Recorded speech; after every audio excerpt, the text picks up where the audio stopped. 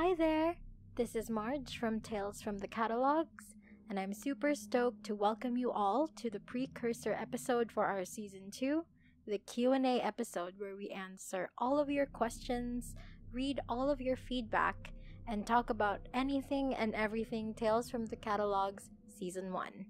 I hope you enjoy this rather chaotic episode where we talk about details, some behind the scenes stuff, and our process on how we made the podcast. So if you're interested in that, go right ahead and listen to the episode. Also, don't forget to follow us on our social media. We have our Facebook, Instagram, Twitter, and TikTok, and that's under Amidst Posteriors or Tales from the Catalogs for Twitter.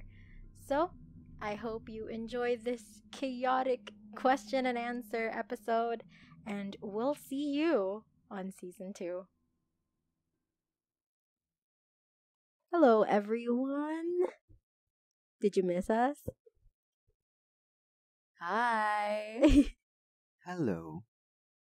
wow. So it's been a while. a very long time. A very long while. About a year. Really long.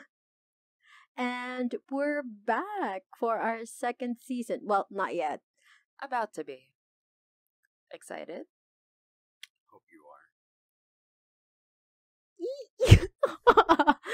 okay. Um just to get that out of the way. So. Hello everyone. Welcome to Tales from the Catalogs. Well, the precursor episode to season 2, the Q&A that's supposed to be aired back in season 1, but we didn't get to do that. But Lots of things happened during the time. College, graduation, all that stuff. And we're back. Just like that. Look at us. We were just employed. to think we started this in college. God. It's been a year since we started. It's been Two two, years, years. We in started 2022. October of Remember? 2022. Yeah, it's been that long. I know. Okay, so before we start the Q&A, I think it's this is a good time to introduce ourselves um Like properly, at like least. properly at this point. So, who wants to start? I think we should start with our very first keeper. Oh shit, that's me. yeah, no shit, bestie. okay, okay, we can start with me.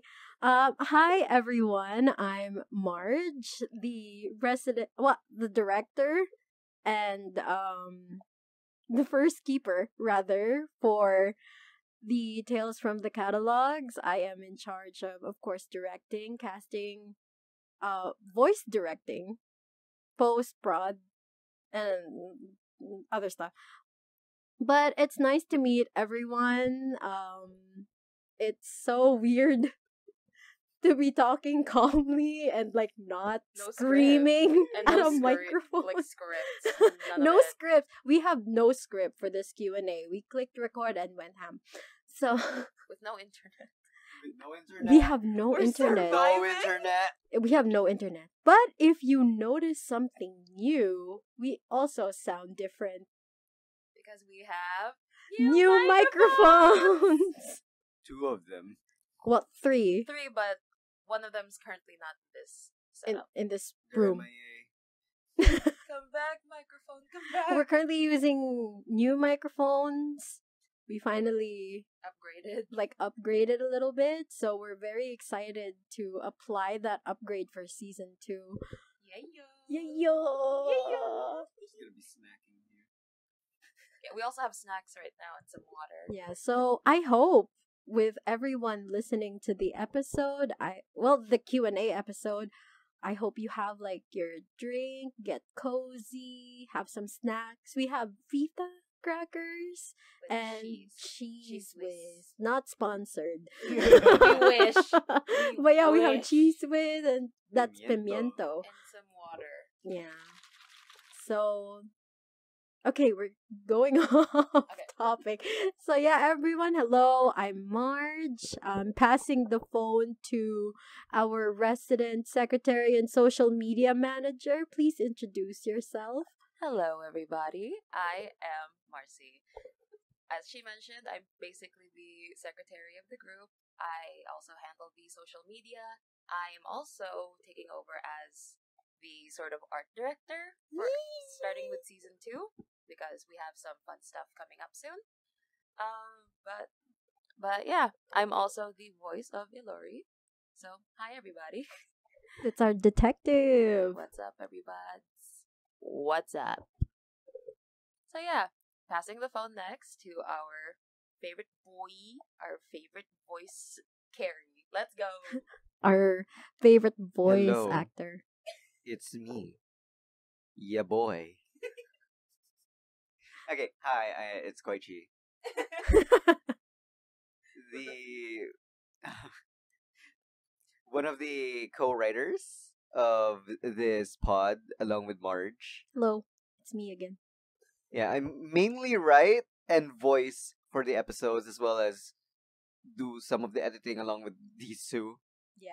Post prod is Group effort. it's group effort. Everybody has a hand in the post production, which is it helps with workload and we get to learn a lot about post prod. Yeah. 100%.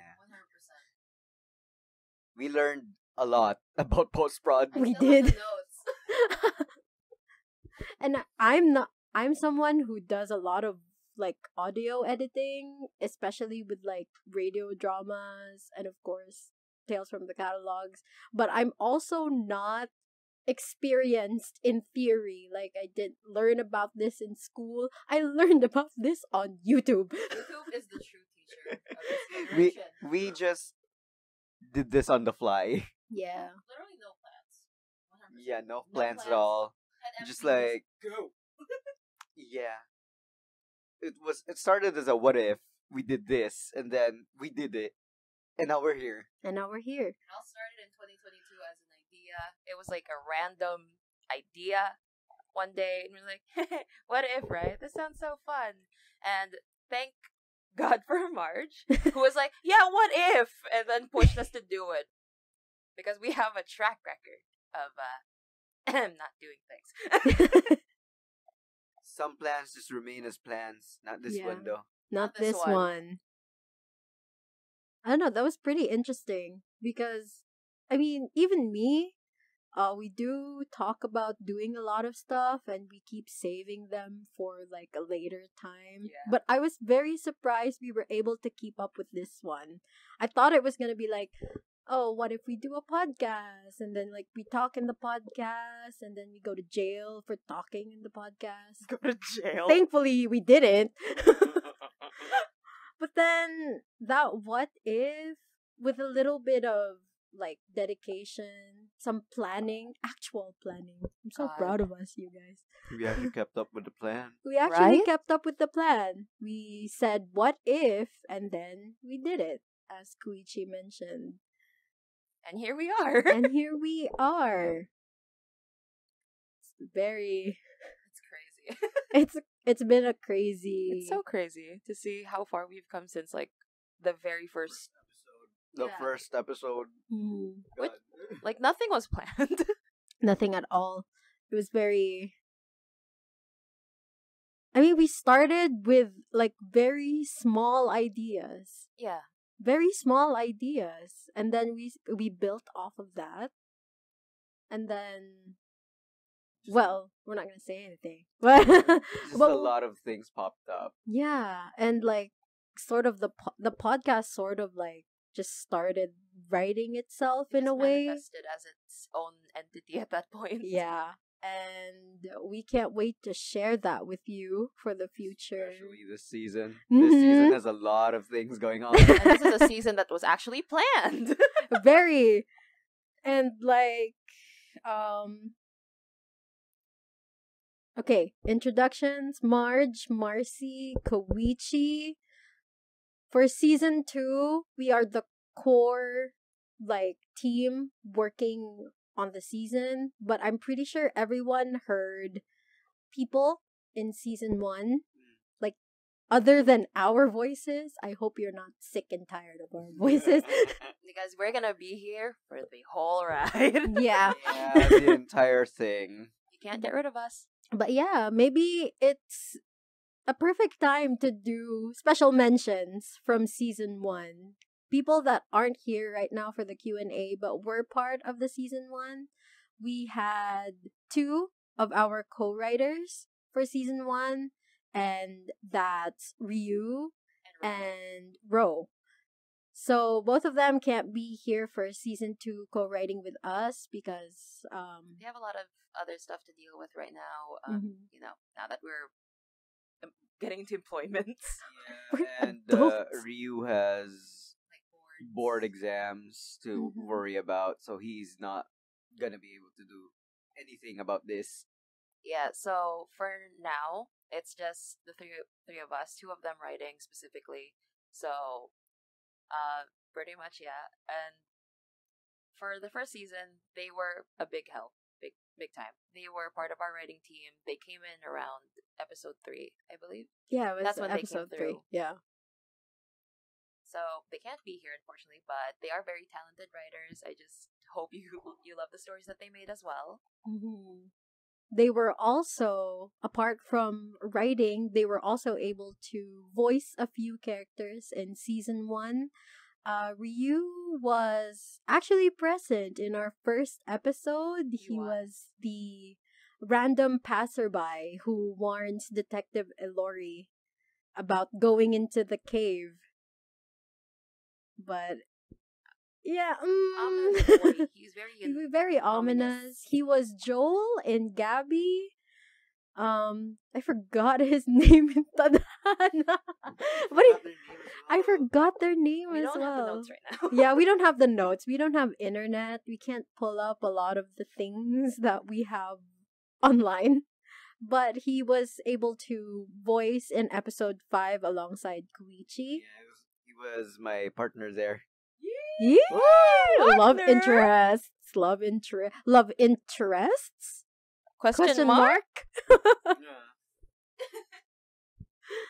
But yeah, um, and many more others. With Ro, I remember her specifically for her role as Grace She in Aikalisod. Uh, that's episode two of season one. Uh, she did amazingly in that episode. Uh, we're gonna talk more about that later, but We're gonna have a yapping. we're gonna have a Go. yapping session. Basically, if you open this episode and if you made it this far, very early on, oh, I Um, nailed it. con- for the readers, um, Koichi just gave Marge a Fita cracker with cheese on it, Oh, and shit. it kind of almost fell, and she caught it between her fingers, so now she has um cheese pim- pimento fingers. I have cheese fingers. But Yummy. Thank you. thank you for loving me enough to make me a Cheez Whiz Fita cracker. That's a little smushed on the top. because I hit it. But yeah, we'll talk about the episodes a little more later on. If you made it this far, know that this episode is just going to be the three of us yapping. So, yeah, It's just a yap session, really. it's a yap session. And you get to uh, hear more about our process, how we do things, some questions we have from our listeners that we will be sharing later on and answering for you. Um, so Speaking of which, we should probably move on to those. y- yeah, We should. We're yapping again. yappy yappy yappy. Okay, So we start off with the forms. Okay, let's start with the questions itself. Let's start with the, cu- the questions that other people have. Okay. So, first question.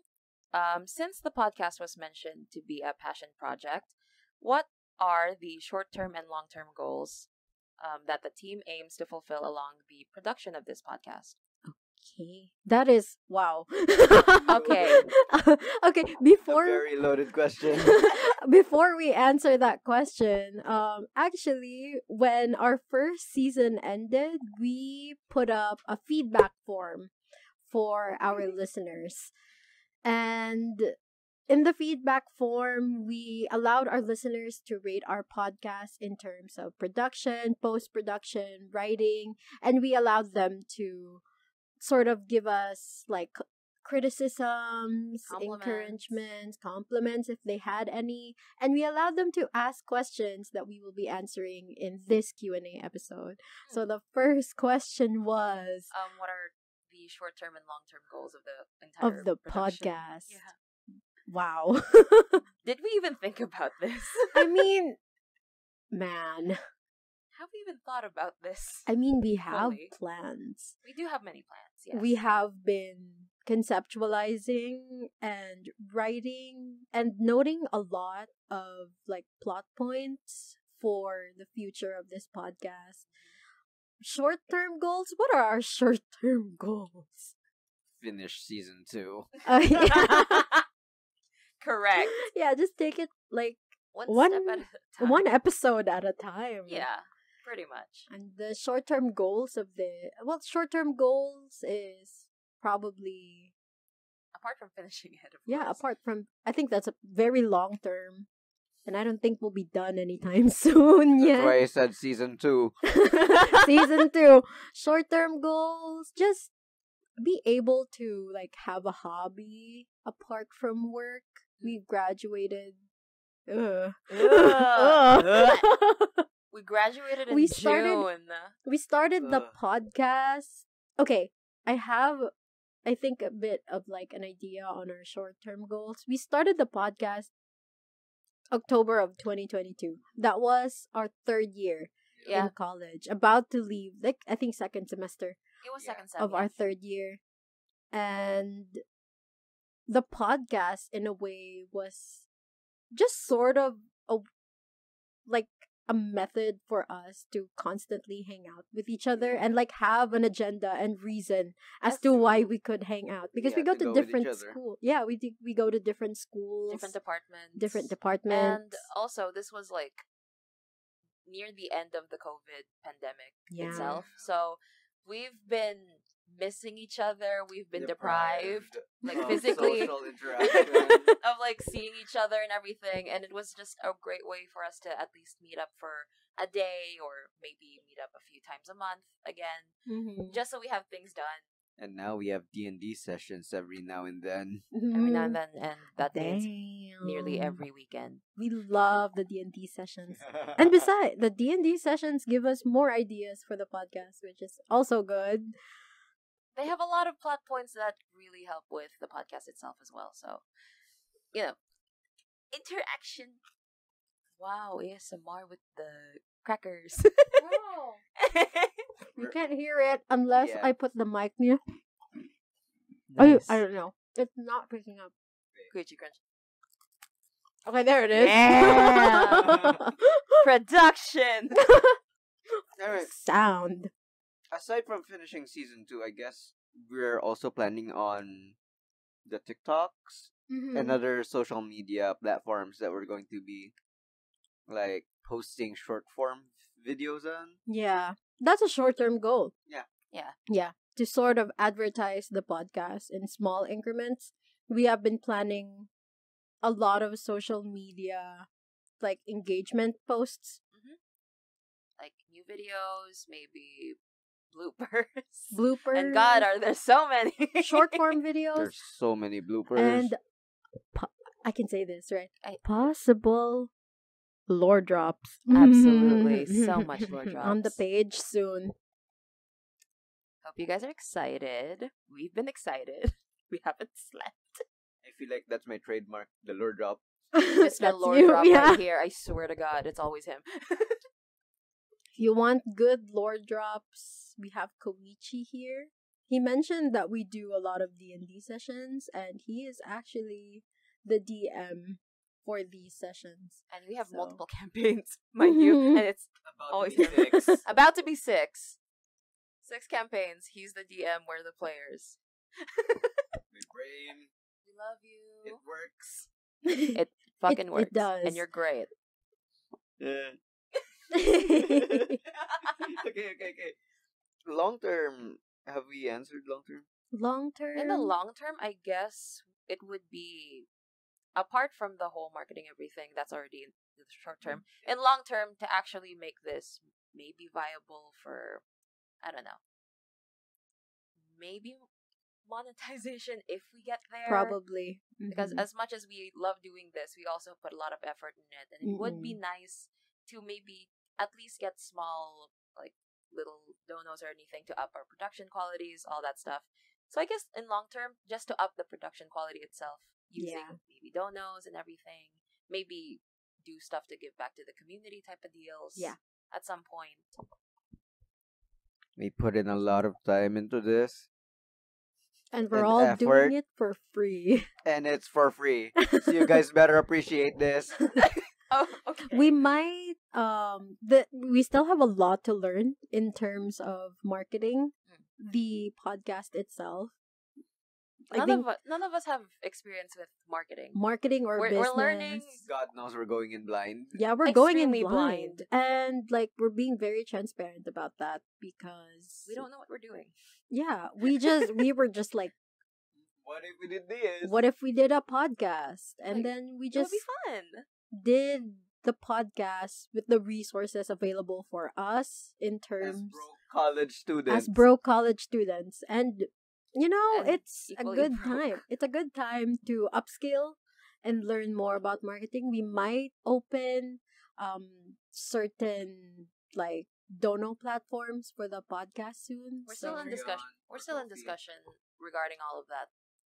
Like, we're still gonna choose a platform, but all in all, maybe at some point, if you guys want to donate, go ahead. We will be very thankful. It's fine. it's fine If you don't want to donate, that's fine as well. As long as you're enjoying the podcast, that's Yeah. what matters. and i think another long-term goal for us is to sort of serve the story that we're writing To serve. to serve to Like, tell this I story think that we actually have in have like a full production setup. Yeah A proper one. a Because proper the current setup up until now is my bedroom with at the time we had one mic and it was a mic from Miniso. yeah it was those small Ooh. earphones with a really nice mic. That was that was the setup back in the day. That was a lifesaver. yeah microphone. and like Rest in peace. before we had like proper microphones and these are like starter microphones these Very aren't much. even We're like not sponsored by Miniso, by the way. We wish we were. the- these aren't even like high end microphones but like they are starter microphones that work they sound fine Mm. for what and we're going for. before we had these these like beautiful sounding things we only had my phone and my pair of earphones that I use on the daily. That's what we our- had. and on our like sad little laptops, to this day, we still use them we still use the same to laptop. edit the audio, the videos, and everything. These are the only tools we have. We have a very not ideal setup, but we're making it work, and that's what matters. We also don't have a treated room. My room is just the quietest, but it's not treated. With the help of Audacity sound dampening. Yes. Anything can Post prod magic. Magic. You, do- you guys don't hear the turkeys. yeah. Which, by the way, that's gonna come up a lot on the episodes because they're there, bastard fucking turkeys. the turkeys will remain They a are- challenge. For as long as they are in my house, they will be here. The dogs, too. and the dogs and the dogs. They're not as loud most of the time, but they will be there. It's surprising they're quiet actually. Mm. So yeah, short term goals, long term goals. We want to be able to tell a story that's worthy of our listeners and of course worthy for like worthy for us mm. as creators and writers. But we want to do that in a way that's sustainable and Sort- Non mentally draining. non mentally draining. Mental health kids. mental- yeah. And yeah, we want to do it one episode at a time. So, Don't want to overburden. Okay. Next question. next question. Okay, this one says they kind of have two questions for us. That's fine. What made you all decide to do this podcast? And have you run into any difficulties while making it, or was it pretty much smooth sailing? To put spoilers, no, it was not smooth sailing. So many scheduling problems. so much, Yeah. even Even now, though- now. though it's a little more manageable since we have the job we have a job we have a set schedule and compared to before with school less obligations in that regard we have a little bit more time to maximize our resources and of course our schedules but oh it was not smooth by any means. It's it was a struggle. Apart from the whole we're broke and we don't have proper like um tools we also just like had struggling like moments with time with getting people to um basically meet deadlines everything. That is like a really big issue we had in season 1 as well as since we never planned anything out everything was like right then and there we're gonna do it. No plans. Anything that happens happens. It was very impromptu. And um, recording sessions, we did them in a day. yeah. Yeah one day. One whole day. For an episode. Yeah, up until sometimes at night, if if ever. Each episode was a day, and so was the post prod. yeah but it's like a it's a separate day from the recording but post prod had to be done on that day as well to prepare for release. It was i mean at the time it was a comfortable schedule It was- knowing it we was were still in class. Yeah, but yeah we didn't have like enough time to be releasing a lot of episodes in one go we released one episode per month because of course we had to balance the podcast our school college Thesis. thesis thesis wow. and like personal obligations of our own. yeah Like there was a lot to balance, a lot of homework, thesis, projects, all that stuff. And on top of that, we have the podcast, we have other stuff. It's just it was a lot. yeah a message to How did we everyone who want to start a podcast but don't have a lot with them just plan use what you have and it, it'll work out it worked out for us somehow, God, somehow. we li- literally had close to nothing Sometimes we'd make like deadline by an hour.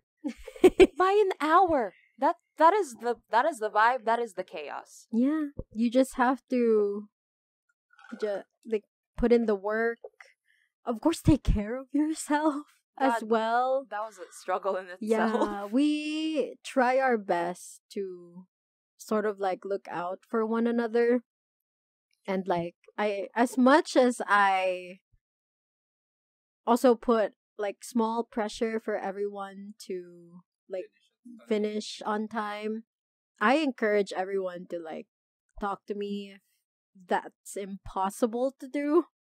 So we try our best to look out for one another maximize our schedule as best as we can with the given time because it's it's not good to just pour everything that you have on a podcast especially knowing that our podcast isn't there yet is Yeah. not at that level yet but yeah it's always important to like Take care of yourself. take care of yourself. That's as simple as it is. Take care of your friends. Considering we're friends who work on this podcast together. One So it's always good to be more considerate of everyone's time. I know. We had a lot more of like scheduling problems than anything that came up. Yeah, it's on schedule. Keeping up with each other, Yeah. keeping making sure people keep up with each other. Mm.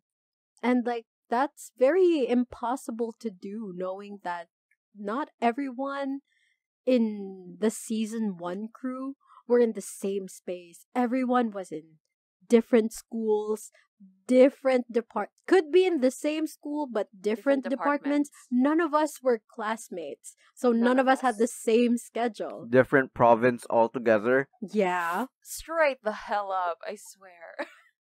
So it was very difficult to make sure everything aligned when everyone else was in different places in like different times. Lots of compromises had to be made. Only thing that held us together at the time was Discord. Yeah. If Discord wasn't there, I don't know what would have happened. Not by now. sponsored, but thank you, Discord. Free Nitro, please. Just kidding. Not really. Yeah. Um, just I guess keep clear communication. Especially during production, post prod, and day to day life, especially if you're working with friends. Make sure they're not burning themselves out Yeah. working on the pod I'm looking at you. like podcasts and stuff. Same with me. Same with you. Ay.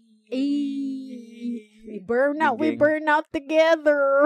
It also helps that we're in the same workplace Yeah. right now. but it's also I think one of the things that with regards to that, one of the things that we can sort of remember that we need to align ourselves with is that when you start a podcast with friends or with a group of people, everyone agreed to put in the effort to work on the podcast. And everyone has like a set standard like a similar or rather a, a matched set of standards with that agreement.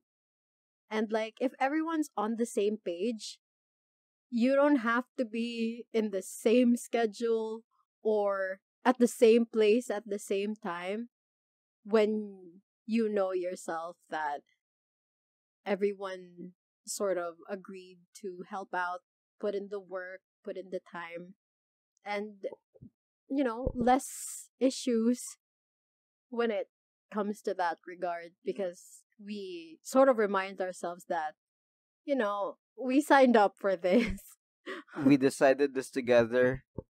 You ain't leaving. This was uh this was an entire decision made by all of us. So if we're gonna burn, we're gonna burn together. we're gonna burn together one one suggestion is find something like something else than the podcast to work on creatively so you don't burn yourself out yeah Like don't forget that outside of it all, have another hobby. Don't place everything in one hobby or if you're Mhm. sick of it, what are you gonna do after? yeah And God, thank God we have enough hobbies to last us. we have a lot We we learned or we picked up new ones. So much. Mm. and I think one of the things I appreciate about starting this podcast, true, we had some like turbulences along the way in terms of like the progress of the podcast. But one of the things I'm very appreciative about Tales from the Catalogs is that it gave us an opportunity to learn things about each other which is really good in terms of like how we are as people who work together and how we are as friends. It was really nice and it helped build like bonds but also boundaries with each other that we're not just constantly like enabling each other to do Yeah. this because we're friends. We're learning to be more critical and like efficient with each other. keep each other like hey um i think you're overextending yourself there Yeah. Or like in terms of the uh what do you call this? The conceptualization, we're like thinking up ideas and then one person is like maybe this, maybe we can do this and we remember one detail we talked about from mm-hmm. like a previous meeting and we're mm-hmm. like but that's going to derail this. And so it's it's good to just sort of like be critical of one another but also foster like this really somewhat healthy. like somewhat healthy environment because it's very difficult to work with your friends because there is a biased perception there. But I'm so glad we were able to like balance that out. yeah, it's really good that we know how to, you know, put up a boundary between you're my friend, I love you so much, and also you're my coworker. Yeah. We are going to make sure it stays that way. Yeah. Like we know when to put our friendship aside and our workplace aside Yeah. as much as possible. Being and that's able to accept criticism hmm. and advice from your friends while you're working with each other mm, It helps and a being lot. able to criticize their work as well. yeah. Call call each other out. Call your friends out. Like within reason. Within course. reason, of Like, course. If they deserve it, do it. But like, don't call them out just because because like, haha, I want to hurt your feelings for this. No, no, Yeah, no, no, no, but no.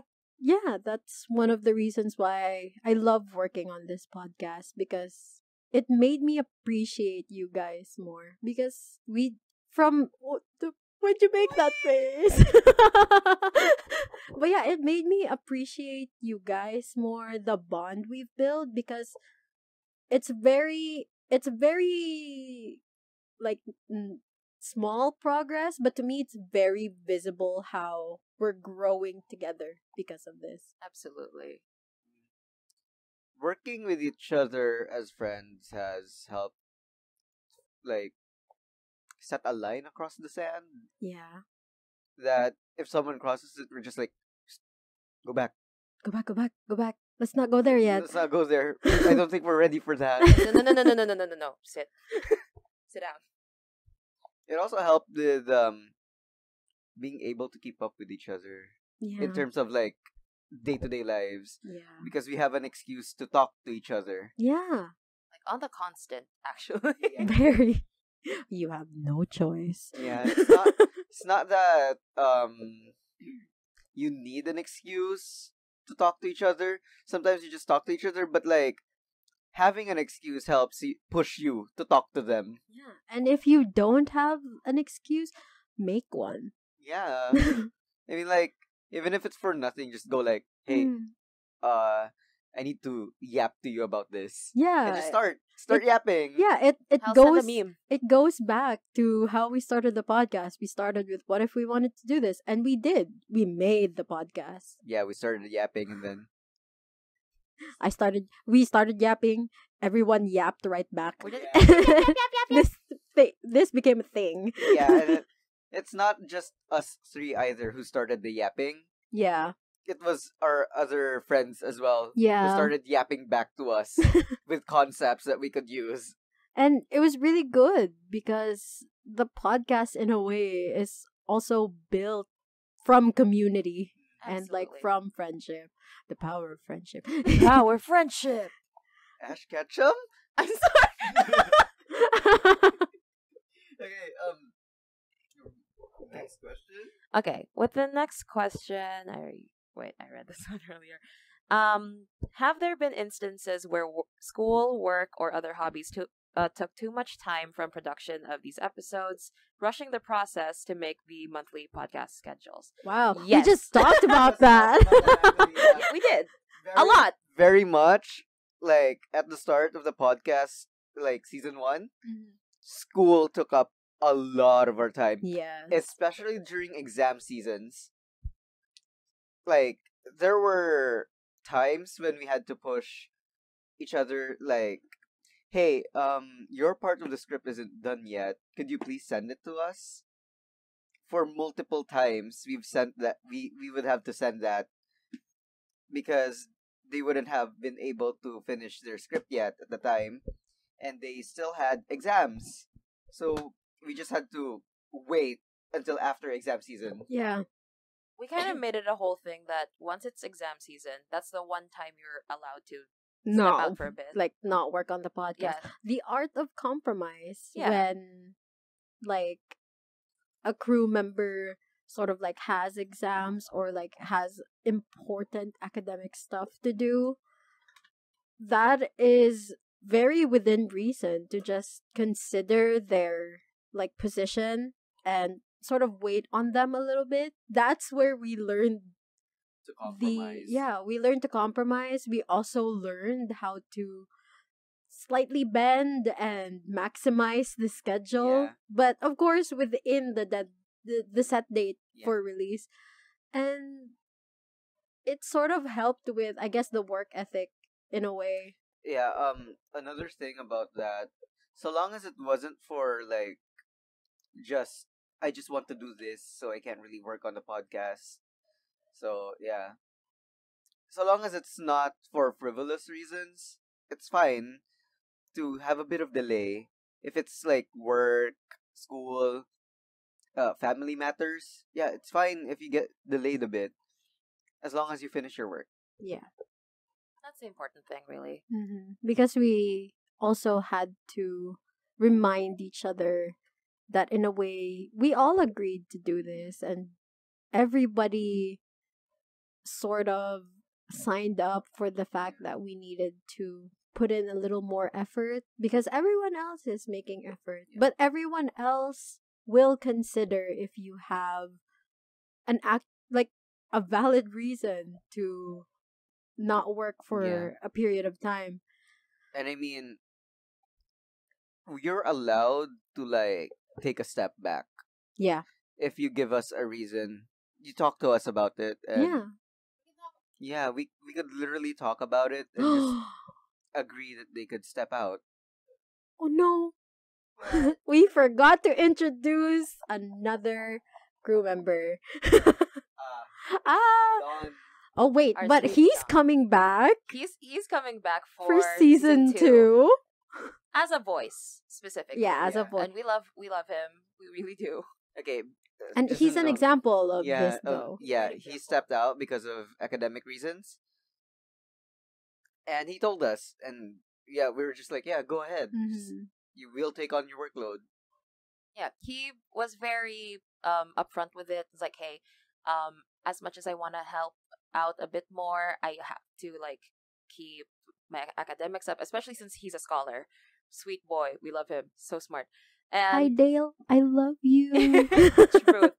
and like he's a really hardworking guy, and we appreciate that he was just upfront and like no bullshit, just straight to the point. Like, hey, can I step out? I really need to focus on this. We're just okay. Go You're ahead. like okay Yeah, he was the one who did the covers for episode one. Yes, to four. he Dale is our resident graphics designer and he was in charge of creating the graphics for our publication materials on the page, like our social media pages. So for the first 5 episodes, I think that we've one who posted, he was the one who made those. And I really appreciated that he was very upfront and honest with it. And like, that's the sort of energy that we, we kind of need. yeah, we kind of need in terms of like separating the fact that we're friends and the fact that we work with each other on a podcast. Those are very different headspaces. And so for him to have been very honest with stepping back and needing to focus on his academics, we were like, oh, yeah, sure, man, go ahead. You need that. We all need to get out of the academe.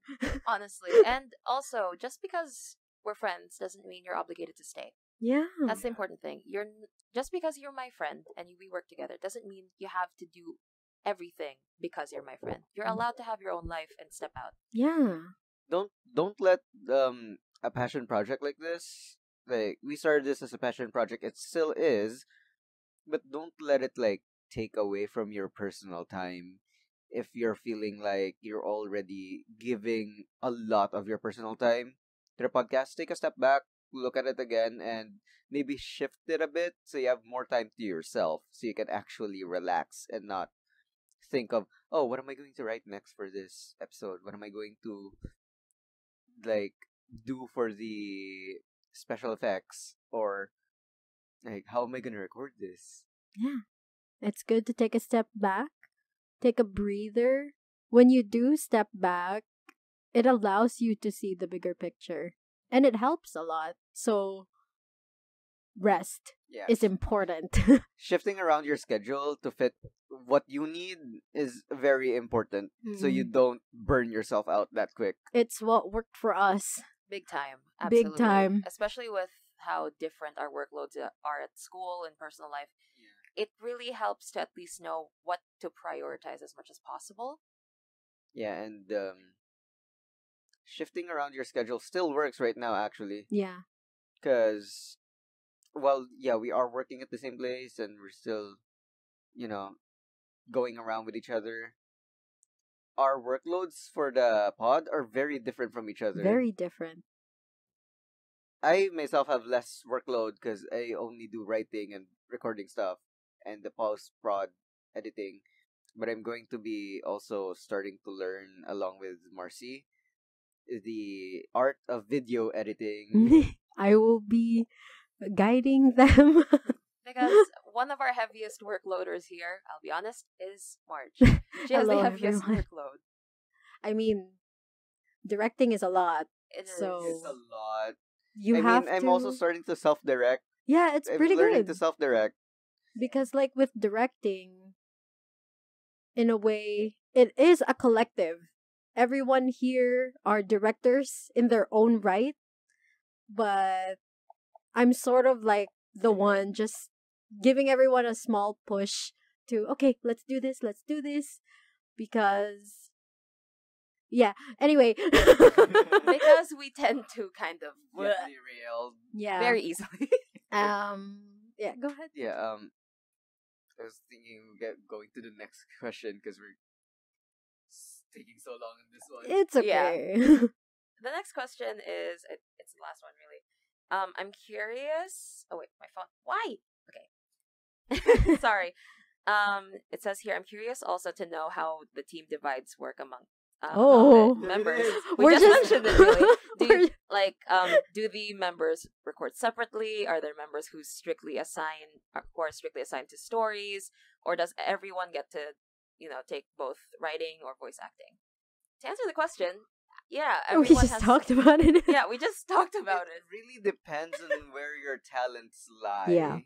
Play to your strengths. And if you want to take on the workload, like I know I want to take on the video editing workload, so I'm gonna start learning about it because I myself don't know how to video edit, Mhm. and I started working on the writing because that's where I'm, yeah, that's where I'm most comfy in. Yeah. Mhm. It's I actually started the first uh Episode. episode Yeah. with just a random Google. Doc Mhm. While riding a jeep to Marcy's house because the traffic was so long and I got bored during the jeepney ride. Yeah, like imagine this motherfucker just like texting his jeep and everything because he had an epiphany, and then once he got to my house, Marcy, Marcy, I have an idea. Read this. okay, okay, what is it? yeah, and that started the whole Jake Apostol monologue. yes, for Cold Case episode 1. Absolutely. It was fun too because you wrote that, you made Marcy read it, both of you like showed it to me and I was like, yeah, this one. We can work with this. And then episode It 1 was birthed. And then funny thing is, um I have a lot of the voicing yeah. roles. Like if you've noticed, I am a lot of the male voices. Almost all of them. Yes. He is. He is. I am in four fifths of the episodes.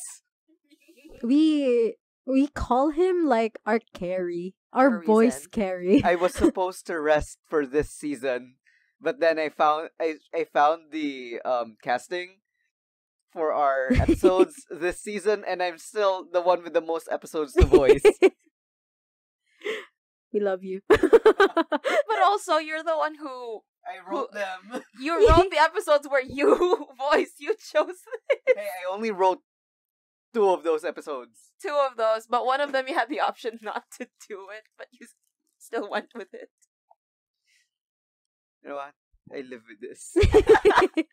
But yeah, he is our voice carry. We love this boy.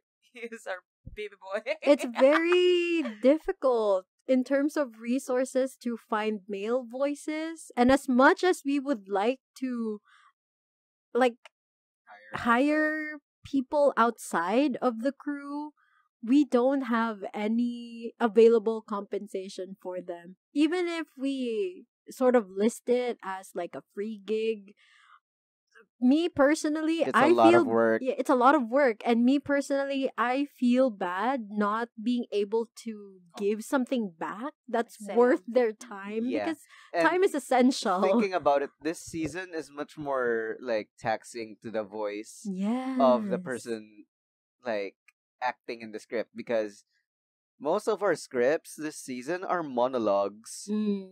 so it's just gonna be that one person voicing that entire script. So if you think about it, it's a really big ask for them to do it for free. to do it for free. And we feel really bad. You know, people deserve to get compensated based on what they put in. And to not do that for us, at least, it doesn't feel right. Yeah. And I mean, if they do volunteer, I mean, we had people in season one volunteer to Yeah. voice. Yeah, but that was more of um More like group work and like their lines were a bit like smaller, smaller compared. and they were distributed to other people in the script as well. yeah.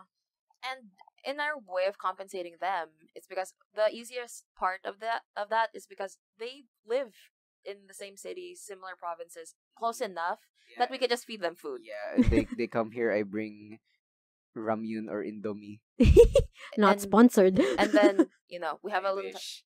yeah. and then we have an entire cookout. We buy drinks and everything. That's how we compensate with some food, some drinks, all that because they deserve something nice. Yeah. Ah. It's a lot, It's a lot. especially this season for the voices. It's emotionally taxing on wha- in some episodes for the voice like voice talents because they're emotionally heavy this season. Yeah. Not saying that last season wasn't emotionally heavy, but there's some here that are a lot more hev- heavy in the emotions. Yeah. And that's pretty difficult considering that we have a small pool of voice actors, which is mostly us. It's just mostly us. It's mostly and us. A few other friends that we pulled in. Mm-hmm. Yeah, some vocal talents are just literally still like just yoink. Yeah, yoinked, volunteered, or we like Do asked in passing, or we do it ourselves. This is a tayo tayo production moment. Yeah, honestly, yeah. It's a from scraps thing. And to think we started without like any voice acting experience in this. No voice really acting don't. experience. I, however, had experience in radio dramas. Yeah, I, So I that's did some newscasting as well in Yeah. like junior high. I got nothing, guys.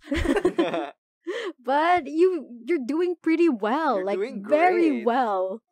One of my favorite like performances in season one are Marcy's because Yeah. like she was the able Diwata the Diwata, so good. very rich voice, very versatile, Yeah. and she has really good control over her like emotional tone. And I, as a voice director, I'm like, mm, it's the way she also like speaks in the character yeah, itself. With the Diwata, it's actually like hairs on end. hairs on end. With Gabby too. post me doing post prod for Diwata. We'll be talking about the episodes more later on, but I just wanted to share one of my favorite post prod moments was editing Diwata because we had to add like this sort of echoey spooky effect for the Diwata's voice and getting to hear Marcy in post oh it was an experience she was sharing that on our GC too Yeah. while editing. We do update each other, send in the voices and everything, and half the time it's going, it's us going, oh my god, it's so It's good either that or we're on call in Discord while editing. and then we're just gonna let each other listen, and we're either all, Whoa. whoa, that's Whoa. scary, wow, that's great, wow, that's sexy. Really good stuff. Considering we had small There resources. are some episodes that have lines cut For a reason. for a reason. The script changes are real. and there are some lines that are are like on the script they're different and on like recording they're different because we like to Improv. Improv. live life with risk. Live life with Full of ricks. With ricks. The Ricks, Rick's before rub. which is also our friend. yes. So, yeah. We have a lot of that. Workload. Marcy, you do social media management. Yeah, which is also something I've never done prior to this. Mm-hmm. So I'm learning as I go. I don't know how I'm doing this. I ask Marge about like how do I do this? I don't know how to use this software. Help me. I do a lot of the writing and voicing a lot most of the voicing yes. and I also do most of the cooking whenever we get together. he is our favorite cook. I mean, all of us can cook. It just so happens that every time these happen, he ends up being the main cook of the uh, of the group. Guys, what are we eating? Also me opening the fridge. He's already opening the the fucking fridge. My parents, at this point, uh, like expect us to just drain the fridge and go like, like we're gonna cook. Like okay, Leave us Speaking out. of which, are we cooking dinner later? yes, yes. Okay. We're cooking dinner. Okay, Mm. So that was it for the questions. We still do have the feedbacks though. Oh yeah, let's move on to feedbacks we got from our listeners through the feedback form. We have four responses, so we can start um, with this one. Um, so far, I think the use of effects, the storytelling, and voice acting is very good. I was very impressed with episode one and wanted to continue listening. I'm very proud of you all. Well done for making an amazing storytelling podcast. Oh, And you- I- I- I don't know who this is from, but know you thank are, but you. I don't see the name here because we don't have internet. They're Yeah. anonymous. I Yeah, think. They're the we gave anonymous. Our of listeners an option to send in their feedbacks with their names, or if they wanted to stay anonymous, they can. Whoever sent this, thank you so much. That means a lot. Thank you so much. We we we worked so hard. I can't take compliments. Take it. Take the compliment. How? like this. Thank you. thank you. Thank you. it definitely was a lot and receiving feedback like that knowing like what we went through in the process it's it's very, validating fulfilling. very It fulfilling feels validating. Feels great. Thank you so much for our next one we have Another one is I genuinely miss your podcasts and I would so uh do anything. It says so here by accident. Wow Do anything to hear more of the stories you make. They are very well thought out and the way it feels like I'm in the story is amazing. You say well thought out, but I'm sorry. The the scripts that I write personally are not thought out. And thank you. No, because little fun fact, especially for season one, all the stories were made the month they were posted. yeah That is the fun fact you guys are gonna get. It's that none of the stories were pre-planned except maybe episode one and two, because episode one was done like a month prior because we were just planning it out for fun. Episode two was based on the story Marge already made.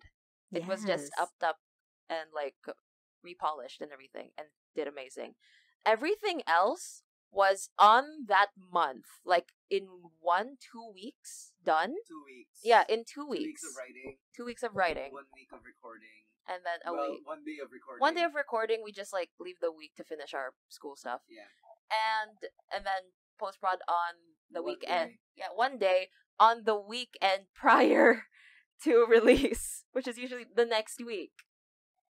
It's it's a lot. it's a lot None of it was thought out. it So sounds thank you. it sounds very um in Hectic. hectic and, And it is. It intimidating was. it was but it worked worked. Somehow. and we were able to keep up with academics as much as we could yeah. We graduated. we graduated Our sweet One- Marge here is cum laude. Latin honor. thank you I almost got a Latin honor. I'm, I'm it's stupid, okay guys. You- we are all more than a latin honor wow Oh. but yeah, um, the reason I say that my episodes that I write aren't thought out though is because of my writing process. I just let my fingers type. That's it. I can attest.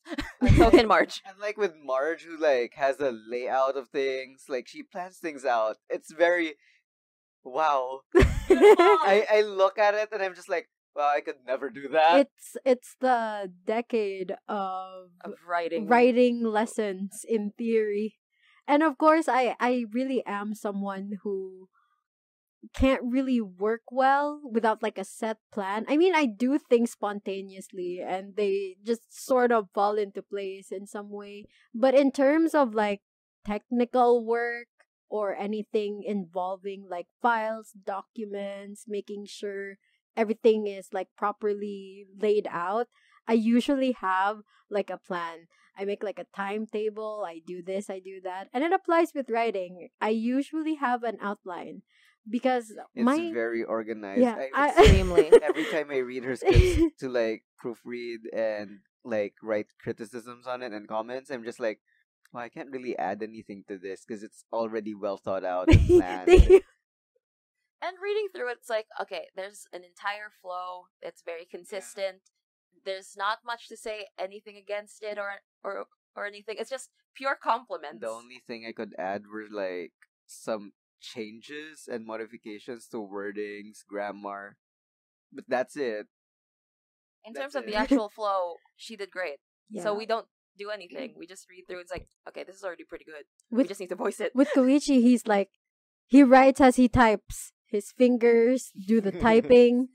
For me, my brain is too fast to keep up with my fingers. So I outline everything before I get to write them. I mean, like, it's not that my brain work. It's like, well, my brain works fast as well. It's just that I don't have a filter. yeah. You don't. You really don't. Marge, Marge has a filter set up for her thoughts to become like sifted Streamlined. through and streamlined. Mine just like Chaos. and it's so fun as the one who's not writing, as not as like someone who's basically watching over them while this happens. It's so fun to see the pure difference between both of them because one's like, okay, there's an entire flow. Wow, so nice. You look at Koichi's. At one moment, it's like, okay, there's a flow, and then something derails a little bit because it's in a different because there's a different paragraph that kind of should be on the other side, and then it goes back to flow, blah blah blah blah, and then I open it the next time, it's fixed up, but then there's a different thing. It's a process, and it's so fun. you just gotta trust. Okay. I- You gotta trust him. trust. Just let his process go. It looks chaotic, it is, but it's fine. it works for him, and that's what matters. With Marge, it works for her, and that's what matters. Workflow. Workflow. You have to sort of adjust yourself to how you function with how you work. and it helps. It works out. we finished episodes, We finished. exactly, and they turned out well. but man, writing is so weird when it double mic. happens. Not the double mic. Because when when we write and we're in the same space, I can just look over to her like laptop and just see how organized everything is, and I'm just like, why can't I do that? Neurodivergency is fun, guys. Whoever said that, I'm going to hunt you down. lovingly. He means it lovingly, right? Sure. That's a yes in Koichi speak. Okay. the organization on my end, I'm glad that that aspect helps everyone in a way. God, if we didn't have a schedule like this, like the one you made, Mm, I don't think anything would have been done. We wouldn't have moved past episode two, Yeah. to be generous, really, if we didn't have a set schedule. If we didn't have a Marge, this podcast would not exist. At all. I, I won't lie to you guys. If it's just me and Koichi, and we have a track record, mind It would you, have just stayed as a concept. which has happened a lot. We have many things that just never went out of like concept. Marge is our biggest reason it's even here. I am And we the, love her. I am the the dream weaver. Oh, Whoa! this is why. Keeper. ah! Hey! Oh, we shouldn't spoil that. oh, mm. Uh, okay, okay, okay. What else? What else? Next is both a compliment and a criticism. Ooh, I There'd love be to times hear. where the characters sound a bit stuffy, Mm, yeah. maybe because of the microphone use. Though I can Yeah. say Yeah. that this hasn't been an issue at all in in the later episodes. Regarding other stuff, I think the the podcasts are at the uh Perfect lens. yeah a perfect length to keep the listeners looking forward towards the future episodes. I always like how the story is written and delivered as well. Great job to the team. Definitely looking forward to new content in the future. No need to worry about the mic issues now because we have new mics. We have new mics. That's And like as mentioned in previous episodes, we had a different mic. And in episode one, it was a completely different mic It- from the yeah. later episodes too. Because that one was my old shitty condenser mic that I got for um online classes. It was really crap. It was really stuffy. So I understand.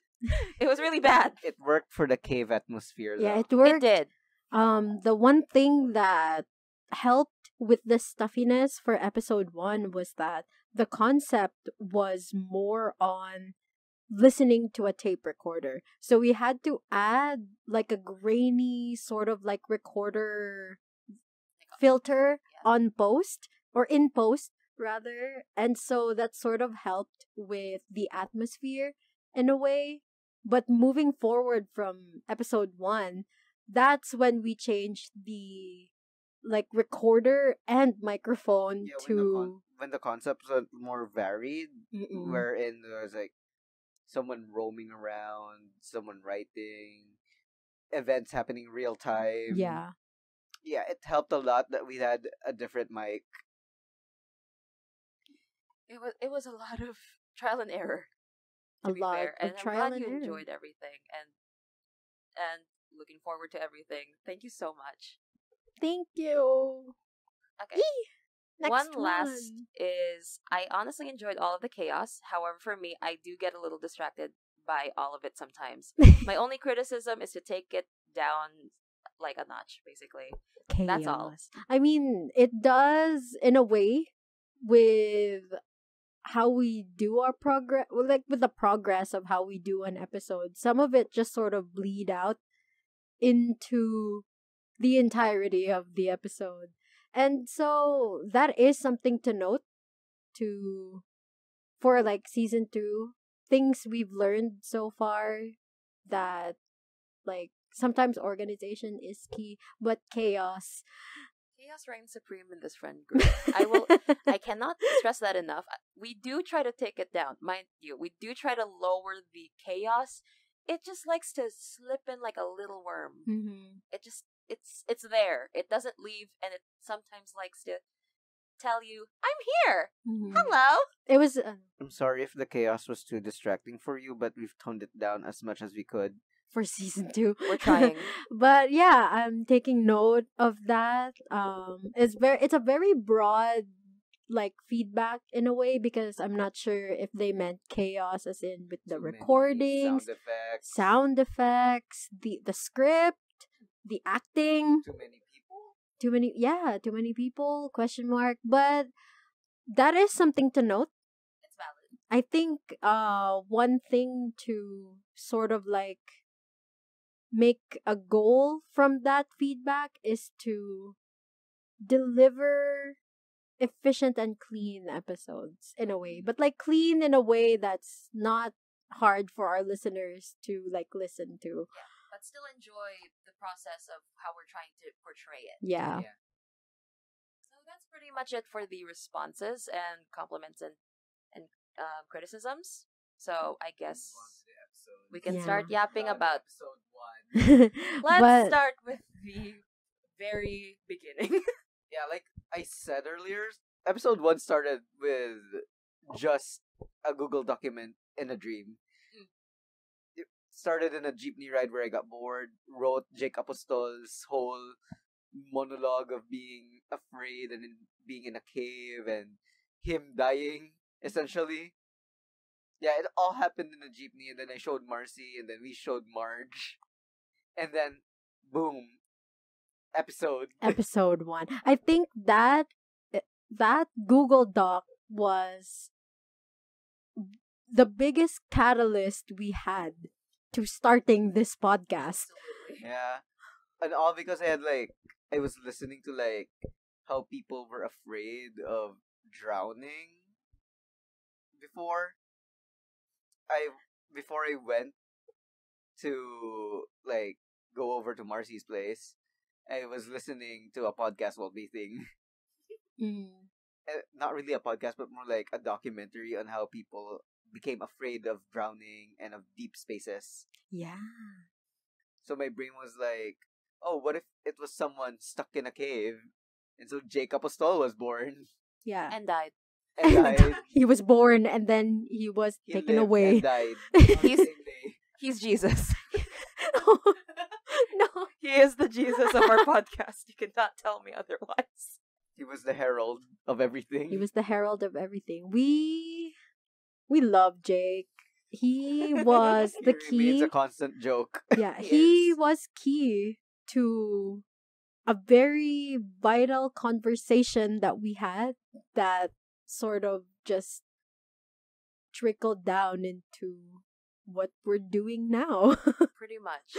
Again, he is the Jesus. He is the catalyst. He is Trickle down economics. Trickle down economics. It's It's just just economy. yeah, he is the very start. And regarding how everything else flowed after, it was an entire conversation on how it would flow. Like, how would this monologue work for for an entire episode? yeah. Hence, why everything else was born. We can't just like it was also more of a we can't just post one thing Yeah. and just disappear off the face of the planet. Which could have happened without a schedule. Yeah. That we could have done that. We could just we could have done we could have posted Jake Apostol, And called it a day, and then no tales from the catalogs, I guess. No, we were like, yeah. Did you have anything else? yeah. Yeah, and then Marge was like, "Oh, what if I do this?" Yeah, and that's The start of episode two. Aikalisud was born. Well, it was already born. It was just republished. yeah. And honestly, with Aika Lisud, it didn't start as a story. I had a character that Hmm.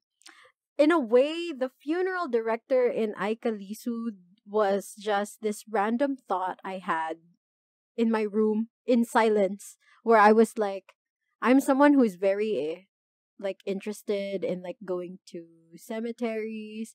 As a very young kid, I grew up surrounded by a lot of my grandmas and grandpas and so like a lot of old people pass away they passed away all around me so i grew up like attending a lot of funerals and then out of the blue some time ago i was like what if i made a character that's a funeral director oc but the twist is he has like an old radio that he uses to sort of channel through his clients to Mm. talk to them. And like I had that on a post-it note and I just put it on my pinboard and it was there for a while and I remembered it. And when they when Koichi was like, "Do you guys like have any more stories that we could possibly list down for this possible podcast? We don't know that's going to happen yet." I was like, "Why have a funeral director like OC?" Write it down. Write it down. And Write then down, they were it like, down. write it down, write it down. this happens a lot, mind you. and yeah, with that, the funeral director OC was considered, and I wrote a story for him. And yeah, it was one of the most uh, sensitive epi- episodes for me. It really was. It really was. I spearheaded a lot of the writing for episode two. It was very it was a very emotionally heavy episode because of some we we had like a very heavy theme for it. Very sensitive. And a lot of the main character's experience on episode two is actually sort of like a reflection in a way of what I also went through. And it was good to find a healthy closure with that episode. And like personally for me, my one of my favorite episodes in season one is Aika Aika Lisud. But yeah. It's in my top three as well. Yeah. Sam. It's it's a very lovely story. My top one is still Tadhana. Yeah. When we get there, we're gonna yap. We're gonna yap. but yeah, that was like a like a general overview of how episode 2 was made. It was made with a lot of love and a lot of self-reflections, a lot of crying. It a was lot of tears. it's generally just a conversation between like a deceased person and a funeral director. But you know, I was I'm glad in a way I was able to make something out of that conversation. It remains one of the more meaningful things I've written thus far. It's one of the more heart wrenching episodes too, and personally, I love the heart wrenching episodes because I know those are carefully curated Yeah. to show absolute raw emotions. You have to like really feel it, and they're really like the biggest tearjerkers. yeah. Episode three was Hectic. a lot. Episode three Uh, was It was Gabby. Gabby. Yeah. We had Gabby episode there three. was casting problems there, Mm-hmm. as what the original voice we had for Joel's older sibling was supposed to be a guy, but he kind of stepped out. Uh, not really last minute, but he was not available. Yeah. and he wasn't really confident in voicing so he stepped out and yeah we we accepted that so we found someone else hmm which is the female voice for For Jo- Joel's, uh, sibling.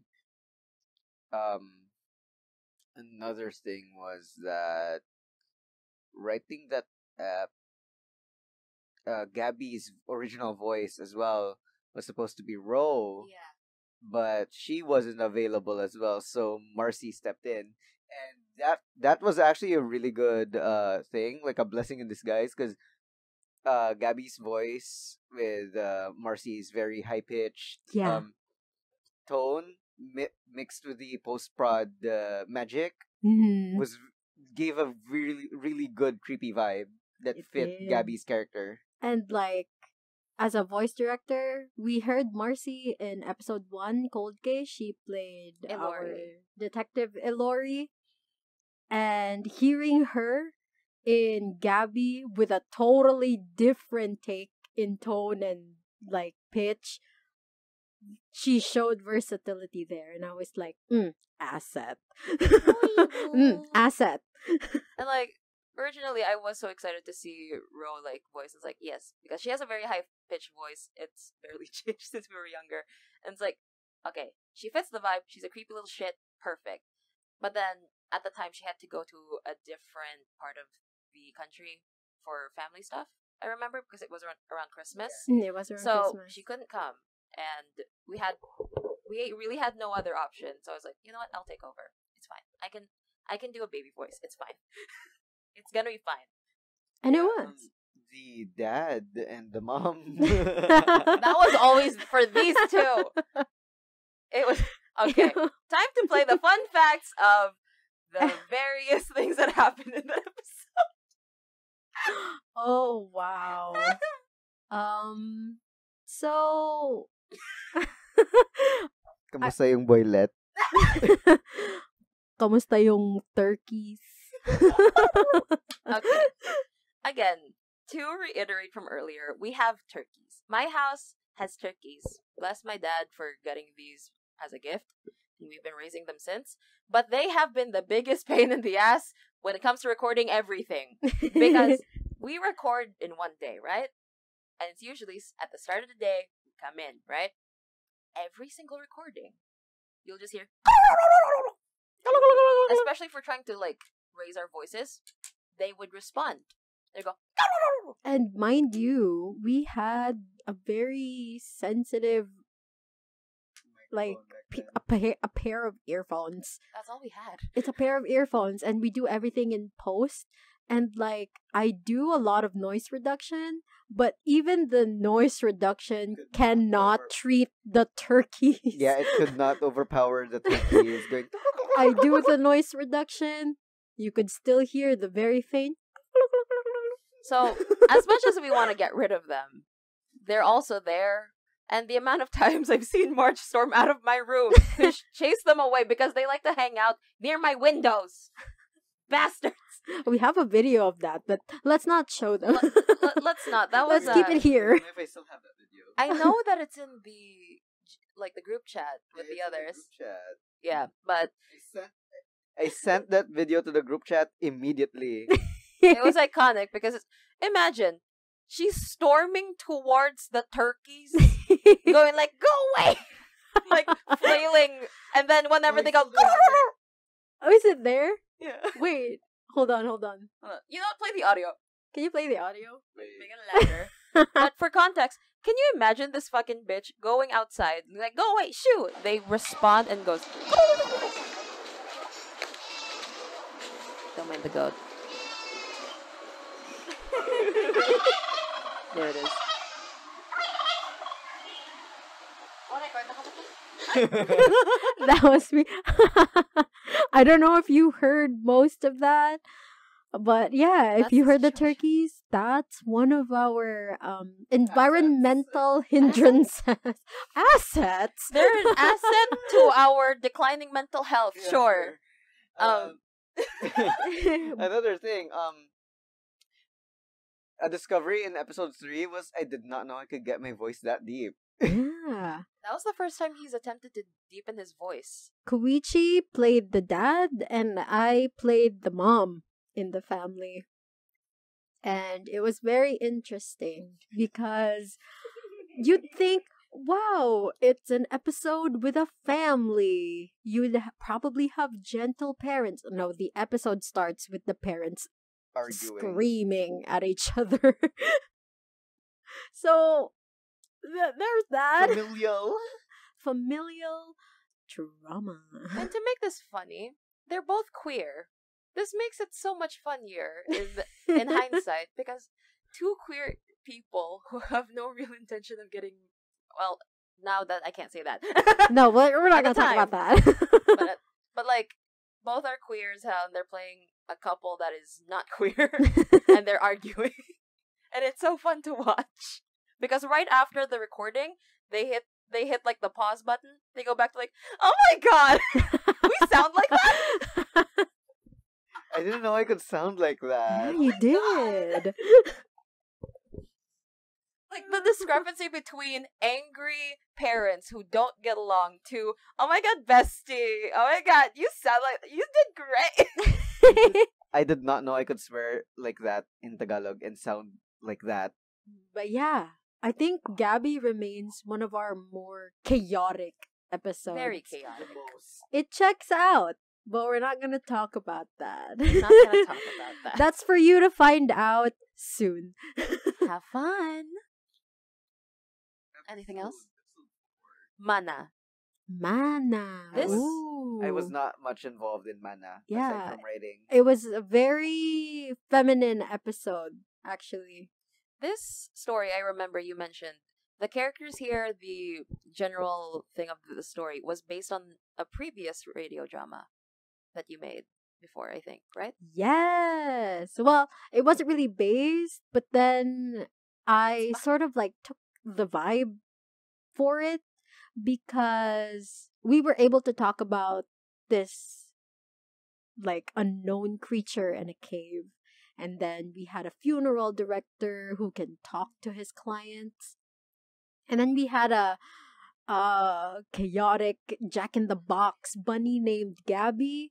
But then one of the goals we had for this podcast is to highlight like local Filipino like urban legends, but mm-hmm. then have our own original like take on them. And then I was like, we don't have an episode talking about aswangs yet. And man, we live in the Visayas. That's a Home- bu- that Home of the Aswangs. home Hello, the- baby. we have abundant stories of aswangs in the year. Visayas. And we were like, what if we made an episode with an aswang character? And so we thought of Mana. so with Mana, we had um two characters. One of them is Sabel, I think. And the- Isabel and Teresita. Okay, Isabel and Teresita, and one of them is a researcher, like researching about like like local folklore and Yeah, urban and legends. And that was Sita. and that was Teresita, and then we had Sabel. That we call her Sabel. Um, Her name is in- Isabel. It is Isabel, but then we call her Sabel in script and um in recording. Mm. and she was the guide who showed Sita around town, showing her like the history of the town, why it was known for like the aswang activity there, why it was rich in folklore. And Sita didn't know that Sabel was actually part of the folklore mm-hmm. in that town. She is the lore. she is the lore. But yeah, it was very interesting to write an aswang that's not like typically found in like the roof of your home, like or like licking waiting- through a fucking window. or like turning into an animal. It was more mundane. She it was a would be an normal animal. person you could talk to. And that's like the thing with Visayan aswangs here. You don't really know Who they are. who they are. You could see them at night as different things. They're shapeshifters. But during the day, they could be your neighbor. Yeah. They could be your people. they could be like your governor, your mayor, Oh, your your teacher, your yaya. They could be anybody. Yeah. and like you wouldn't know. And so it was nice to sort of like take that into the daylight setting wherein we had Sabel as a tour guide and Sita didn't know that she was one until well Until the end. if you listen to the She went- episode yeah One of my kind of favorite roles to play. I love playing you Sabel. you did amazing with Can you believe I just woke up when we recorded that? yeah I just woke up that I day. think that helped with your voice quality that episode Mhm. actually. I yes just woke up. I had no water. I was just like, oh my god, what time is it? And then they're like, we're on our way. Oh, fuck. That really helped with her voice quality for that ep, I think. yeah Because a We- huskier tone. yeah, we wanted like Sabel to be a little more on the husky tone, a lot more well, not really sensual, but more on like Ominous. like an ominous, light, sort of faux friendly, Think uncanny. uncanny. That that's the word. yeah Uh, next is episode five. Tadhana. My, my favorite episode. Um, nasty. Okay, I don't know about the others, but my main inspiration for episode five was actually River Song and the Doctor. Ooh, Doctor Who. Doctor Who. Not sponsored. Oh, to be sponsored. like if you, I think if you watch Doctor Who and really took note of the lines of River Song, you would recognize some of the lines I wrote in the script. Especially uh Javier, the revolutionary. yeah. Some of his lines are from pulled directly from River Song. Which is it it worked for him, honestly. Yeah. Cause honestly, River uh, like very headstrong person. I was the one who was spearheaded that episode, right? You did. Spearheaded and voiced. Yeah. So Javier was really inspired by very fiery like personality from River and sort of kind of sassy. Yeah. And then Angelo was wait. Angelo.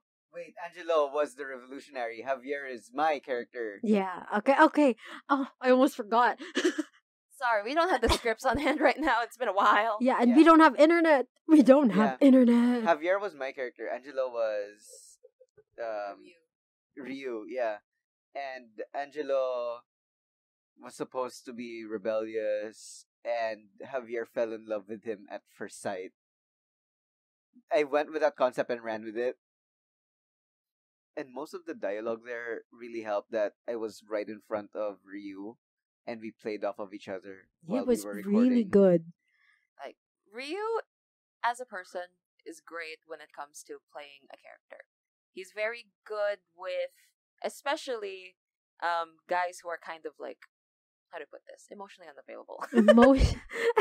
So what a way the- to put it. putting him in the place of um, Angelo, who was the most emotionally available in the relationship, was a A challenge, challenge for for him. him. and he did amazing, mind you. he did great.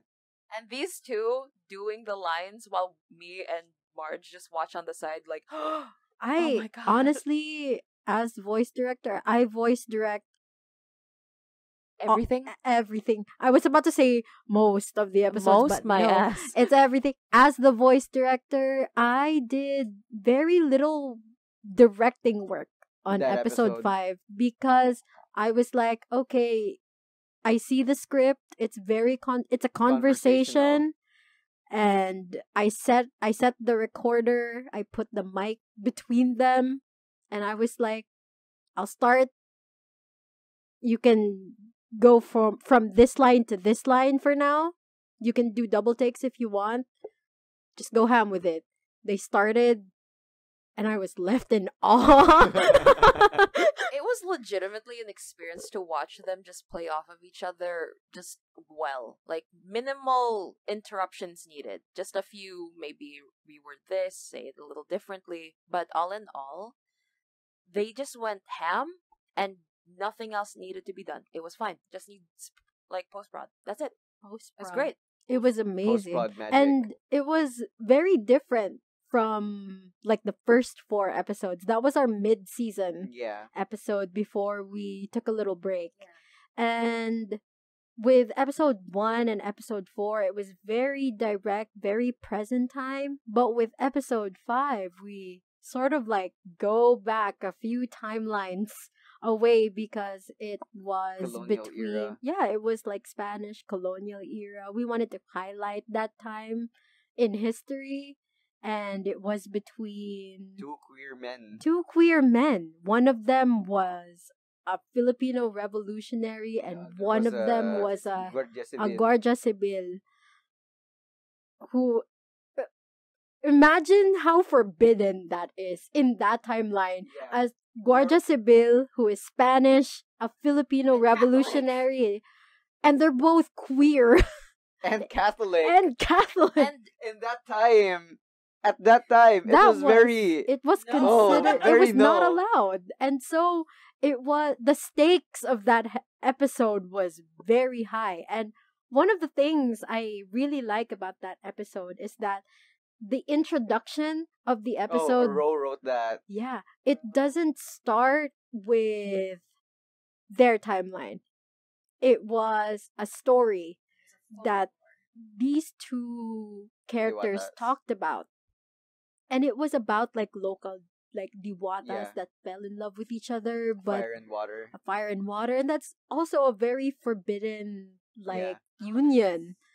I mean, they can coexist, but they cancel each other out. Yeah. And one of them gets either snuffed out, one of them Evaporates. evaporates and i really like that that like story that introduction at the beginning just weaved its way into how angelo and javier Yeah. were as people and as lovers and oh yeah me yapping story story wise, it's one of the more interesting ones to play with because it's the polar opposites trope, like Mhm. full on, and Javier playing was how this could get them killed. Javier was the silent type, and then Angelo was yap yap yap the yap yap yap. yap yap the listener and the yapper dynamic but yeah it was really good it was a challenging episode for our voice actors but it was also one of the more meaningful ones Yeah. because it wasn't entirely it wasn't a horror epi- well it's it's too The horror it's is two forbidden society. lovers. It's too forbidden lovers who are queer. That's a horror episode to me. And- and honestly, it also means a lot because majority of the team is queer. yeah we are queer. Like the three of us in this room right now, queer. Queer. The writer, gay. Gay. right, the writers, gay, queer. gay. The voice actors, queer. Yes. And this is it means a lot. this is us. a queer um spearheaded. queer cre- spearheaded created pod created by queers Yeah. sort of And then podcast. there's episode six. The I think episode six was our joke app. It was because the plan was it was always going to have a joke episode for April Fools. So for April, we made a joke episode. It was supposed to be a joke at least. Um, more on that for season two. And then yeah, the most I can say in episode six, I guess, was it started as a joke, and so we wrote a script thinking of it as a joke, and now it blossomed into something else for season two. And but Well, you're you'll gonna know. find out about You're that. gonna find out about that. You'll know. so so all we could really yap about for episode six is that we made it as a joke. And everything for the recording, we meant for it to be comedic. Nothing was really Mm. fully planned. and I think that was when we came back from the break. Yeah. And so we were like, we just came back from like a two month two month break by that point, and we were like, yeah, you know what? Let's let's go back. Let's not stress ourselves out. Let's do a little something light. And it's the April episode. It's April Fools. Make it just a chill episode. Let's make a joke episode. But then, I mean, it's it is still, Still a joke a episode. joke episode, but it has its It has a- um, Moments. it has its own depth to it. especially with season two. We can't reveal much, of course, but it does have its relevance in the timeline and lore of everything that's going on. Yeah. It's an important episode. It sounds like a filler episode. It's not. It's not. It's more introductory in a way, or it's like a precursor to something else. But Foreshadowing. Zip. And then we have episode seven. another another very heavy one. Hello and Goodbye is extremely heavy as an episode emotionally because of the um themes of SA. It's scary in the sense that it could happen. it could happen to To you, It's real. Boy or to girl. anyone, boy or girl, and literally anyone could do it to you. Even people you think you trust. It's Mm. the scary truth that anyone could be a threat. Mm-mm. and it played off in episode 7 with three friends. It starts off with the whole case itself. Ilori finds it and she reads through and listens through oh sorry. Um listens through the entire recording that they found i- on site. And we see three friends who were making a podcast, ironically us. but the difference here is um they were mostly for horror stuff, right? Like in terms of let's look for ghosts, ghost hunting stuff. But then there's something off with the dynamics. Very off. And we find out why. if you listen, you know, you know. If you know, you know. You know. But yeah, it was that episode didn't actually like start because of the fact we wanted to highlight like an actual social issue that's really relevant. But it was just an episode where we were like, maybe we should write an episode because a lot of like the horror stories we grow up listening to are like Ouija board, Spirit of the Glass, Glass, Spirit of the Coin. Mm-hmm. And we were like, what if we like made an episode where the characters utilize those divination tools? And we were like, what if a Ouija board? Yeah. And then it just sort of the concept like just sort of formed itself into like, oh, these three friends who make like ghost hunting podcasts use a Ouija board in one of their friends' house, like their Ancestral one that ancestral house, the prime of the hound. Prime of the hound. Oh, the bloopers are gonna be fun. Okay. Um. it was very interesting to play as what was his name again? Mark, Mark. you're my- It was, This bitch. it was very interesting to play as someone who is like a like total opposite of me. yeah, and like okay, d- disclaimer. None of the things happen. Eh, they are three podcasters in that episode. We are also three podcasters. It was a coincidence, guys, core okay? But none of that shit happened with us. God no. No. We do have our horror experiences, but those are those are nothing. the The horror s- experience happened to me. Yeah. The sensitive part of that episode as well, that didn't happen to us. Let's put that out of the way. Uh, another thing was uh, what is this again? Something actually happened while we were recording. Oh, we were okay. Okay, Okay, this is the um, fun part. I remember be- this was a very fun episode. Um, the people recording in that episode was me, Koichi and Ro. Ro. And I was um, Ilori. And Marcy was Detective Ilori at the time. You were I remember I remember you were having a sore throat at my the time. throat was dead, guys. I was recovering. But yeah, at the time, there were three of us, and then it was an episode where the three characters were also facing each other. And we were like, you know, it's a big group. Maybe we should like not utilize Marcy's room and like sort of sit outside in the living room where there's a lot of space just to sort of like immerse ourselves that oh we're in a house right now maybe we should like get into these characters' headspaces because they're also ghost Yeah. hunting in a house somewhere. And we were recording. I personally heard like a chair move in the in the, The dining. dining. area. and at the time there was only Marcy, Ro, me, and Koichi. Marcy's parents were at home. Her brother was out, I believe. He was. And one the only person, or, well, the only things that were there that could make noise was the dogs. And the dogs were Outside. literally outside or at our feet. So, literally, no one else was around the house. The animals were outside or near us enough that we know exactly where they are when something happens. and mind you, disclaimer, my home is haunted. I I will admit that. Regardless if you believe like supernatural shit, I I know because I live here that my house is haunted. Both the houses here and the one near like next to us, which is also ours. This this place is haunted. That is like one thing you need to know. but yeah, I heard like a chair move in the dining area. And then I had to stop recording. I was like, did anybody hear that? and they were like, no. And I was like, oh, okay. and then we just continued recording like nothing happened. And then we moved back in here. And then we moved back in the room to record like I think the ending Yeah. because I I had to scream at the I'm so sorry. It's okay. it was my hair clip. But you know, uh we had to record the end of that episode in Marcy's room. Marcy had a sore throat at the time because she was the one who voiced The the stranger. the person that my character Celine like bumps into as she was running out of a panic from the house.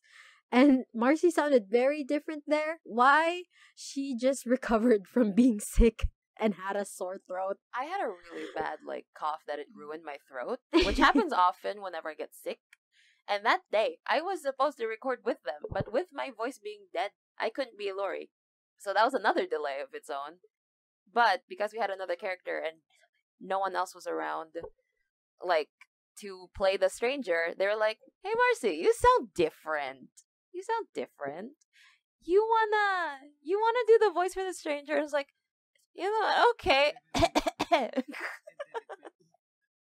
so yeah, that's that's the case with the whole. Uh, my throat was dead, but I still voiced. Versatility? Question mark?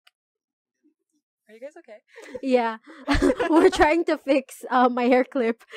Uh, sorry. But it's Use okay. this. Oh, thank you. I think that's yours actually. this isn't mine. I don't have a hair clip like this. Okay. This is mine now.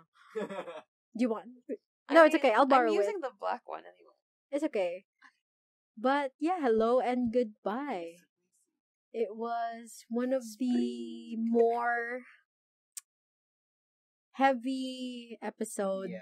Very heavy. because of the implications on why the friend di- the friend group dynamic in that um like epi- like between the characters were very like tense and awkward but it was a very fun episode to record because like initially everyone was just like screaming having fun and then and then we we got we got to the heavy stuff yeah. but yeah that's hello and goodbye for episode 8 we had Salo salo. Ah, I love Ah, cooking my I family. love cooking my family The concept itself was funny, mind you. That whole prompt. We have a prompt list. Yeah. And on the prompt list, it was just I love cooking my family. and it you'd never know what that would like Imply. imply.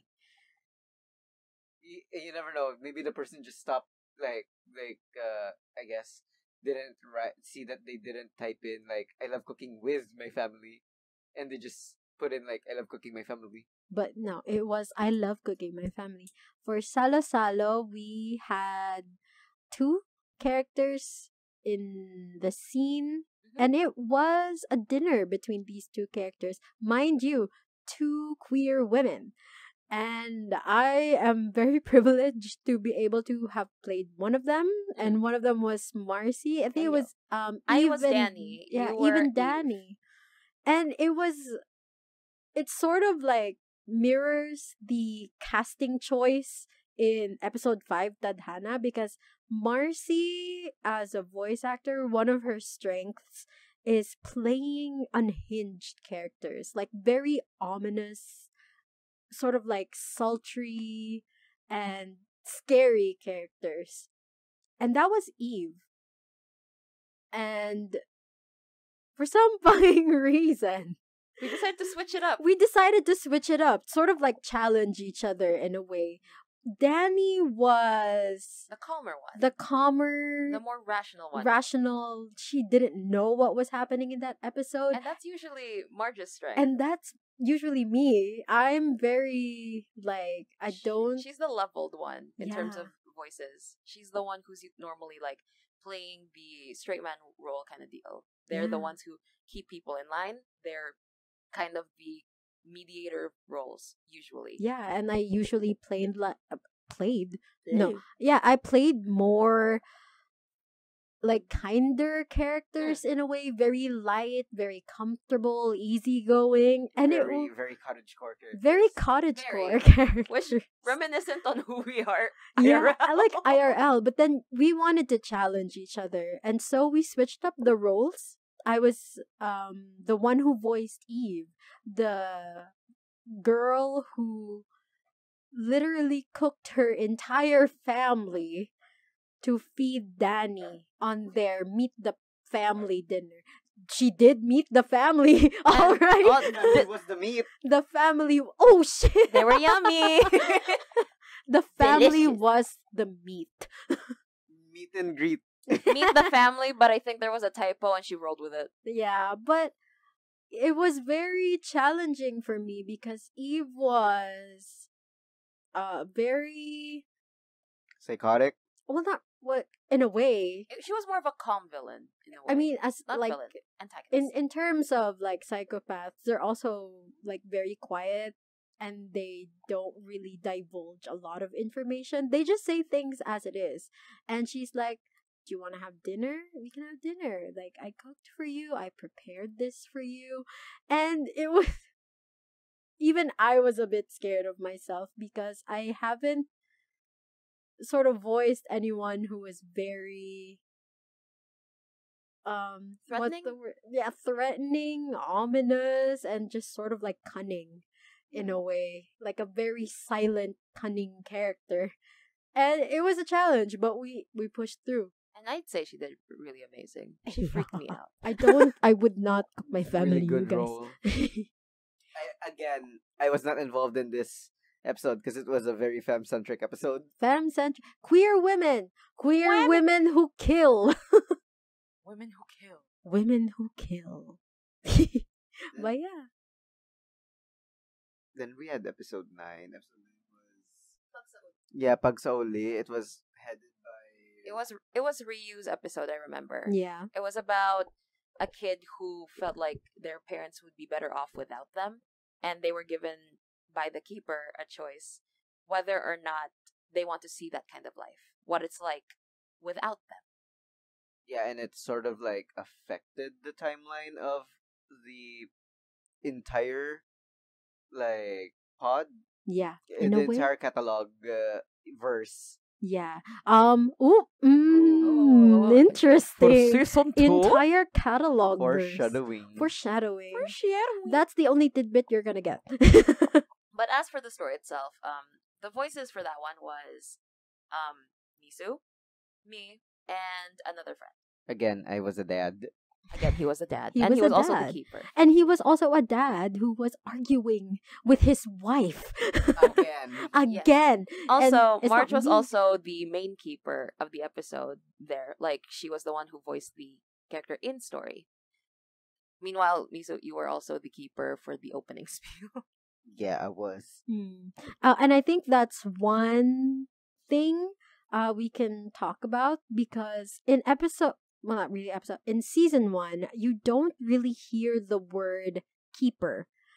So, but if you recall, uh, in Cold Case, at the beginning of Cold Case, Detective Ilori sort of like ends up in a catalog. And there was a voice there, a very echoey voice that talks to her, asks her why she ended up there and what what the hell she was doing there in the first place. How you here? Like, Why you here? why you girlie? he- how you get here?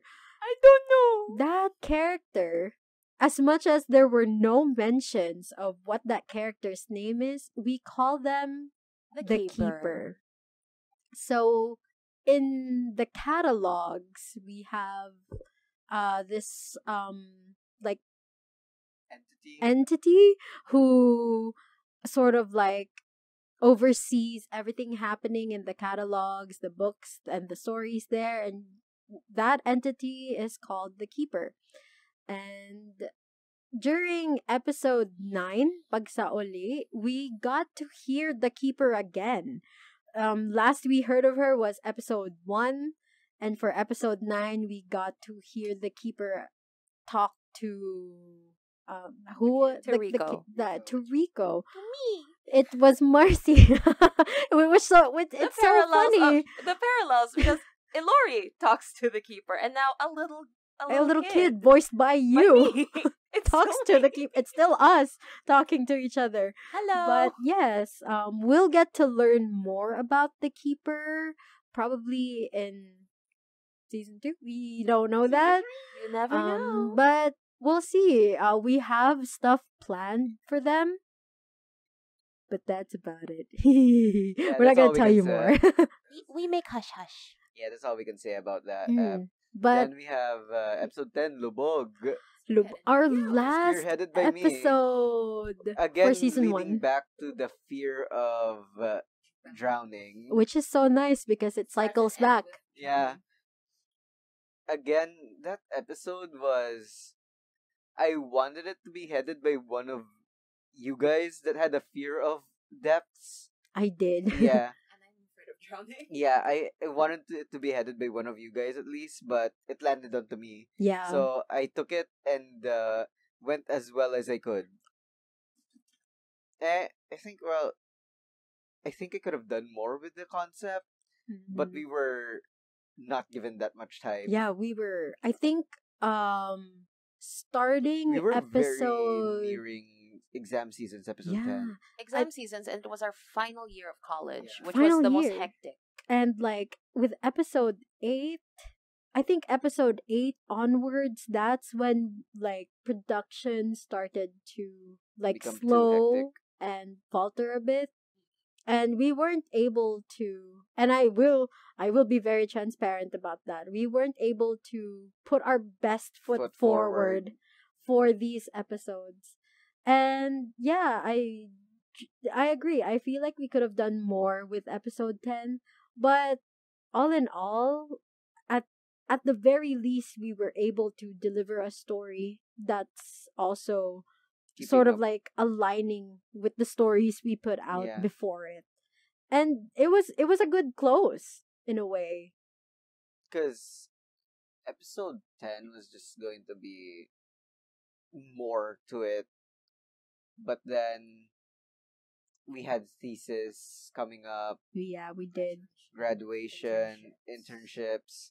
So most other writers, well, I was expecting like when I assigned, you know, uh, the parts of which writer was going to write which parts. I wrote uh, a long part there as well. You did, Ro did, Ryu wrote less than what I expected him to write, but still acceptable. I just added more to it so we could get the episode longer.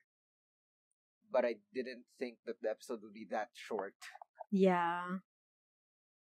But then It, ju- was sufficiently ominous. it was sufficiently ominous, but you never know. Such short episodes can Could play be big. could play big. So Oh, could big. be oh. Oh! but like yeah, you we never know because like as much as we have learned from a lot of our trial and errors in season 1, we're still a learning Learning. bunch. We're a learning bunch and a lot of our progress in season 2 was like thought out and planned and we really put in a lot of time preparing ourselves into like producing season 2 we had to like mentally and physically prepare ourselves Yeah. find like a good like schedule and like Actually, I think for season one's episode 10 Mm-hmm. would have benefited more with the script format we're writing for season, season 2 two right now. yeah It would have benefited a lot more because then Ryu would have been able to do a lot more with his part mm-hmm. because most of his part was good. Like I feel like um could have benefited with a lot more internal monologue yeah and descriptions of how the character was feeling. but so we were able to deliver that in a way it's it was just still uh, good. it was still good um a little uh more i can't find the word i can't find a good healthy critical word but um yeah we could have done a little bit more exploration Yeah. for episode 10 but then again we didn't have a lot of time Yeah. to like focus on it and proofread and Proofread, uh, polish. It was more polish production Panicked. It was a very panicked. it was a very time. It was a very panicked time. close and And it reflected in the way we wrote it. mm-mm. we drowned we made We lubog drowned. we drowned you guys that was the Reflection. essence of the episode Lubog. lubog we made lubog with We all the guys, we work that we had Yeah, we but you know fresh start season 2 is coming out And everything's next more, month And everything's actually planned. everything's actually Yay, planned plans. and like gonna record and actually finish things. yeah We're getting close. we're getting close as of now we're at th- at this point um Recording. you're probably gonna hear this sometime in October, but uh, at this point, we recorded this way before. We're still currently recording for season two, and uh, we're excited to get stuff done. We have we we we're following a workflow That- Finally. finally that's working for us. a few Everything, delays, but yeah, like they're minor compared to before. yeah, it's okay. It's definitely a lot more easier compared to when we started out because we were in school. Right now we have like enough time to just sort of extend when we need to because we can't overexert ourselves. That's it's a tall order. This is a podcast that's very small. It's still growing. And run by, at the moment, three people Yeah. Who are working. who are working. We need money. But yeah, hopefully by season two, we get to apply what we've learned for season one. And like, if mistakes are made in season two, Then we learn from them. then I guess we learn from them. Season three. Season three. Let's fix everything, boys. But yeah, we'll see for next month. um I think at this point in the juncture in the juncture Big word. we were able okay we were able to discuss our feedback form discuss a bit of our episodes and our process Now it's just yapping time. it's um i mean we did yap but Hmm. then i guess we could advertise a little bit for season two what are we expecting okay. of course Oh, no right. spoilers Aside from um the podcast, we might start streaming um D and D sessions. on twitch Yeah, on Twitch. On Twitch, baby. Don't know whose channel it'll be on, but probably Marcy's. Fucks. thank you marcy for housing our d&d session Hey, I got you. I will I, I will actually make you an overlay if you wanted to. I would. Please. I would. That would be great. We're just gonna be in one. Mm. We're just gonna be here using your laptop, Oh and then the mics. We have our mics. Yeah, we're just We gonna have be bringing our own mics. mics. Like we're just gonna be bringing our own mics, and then I just narrate for you guys. Yeah. It's Mind you, very he's a great fun. DM. So yeah, there's Yes, you are. you Look at are a me. great DM. Look at me. Don't come back, you motherfucker. Um okay, personal yapping time with like on the topic of D&D. I was someone who was always interested in playing D&D, but I never had like friends to Play it with. play it with and like growing up i just never learned how to i didn't have like player confidence. I didn't know what the kind of die were. Koichi was like roll a d20 and i was like what's that? But then um they were able to invite me in a campaign and our, our, our very first our campaign. very first camp well my very first campaign with them. And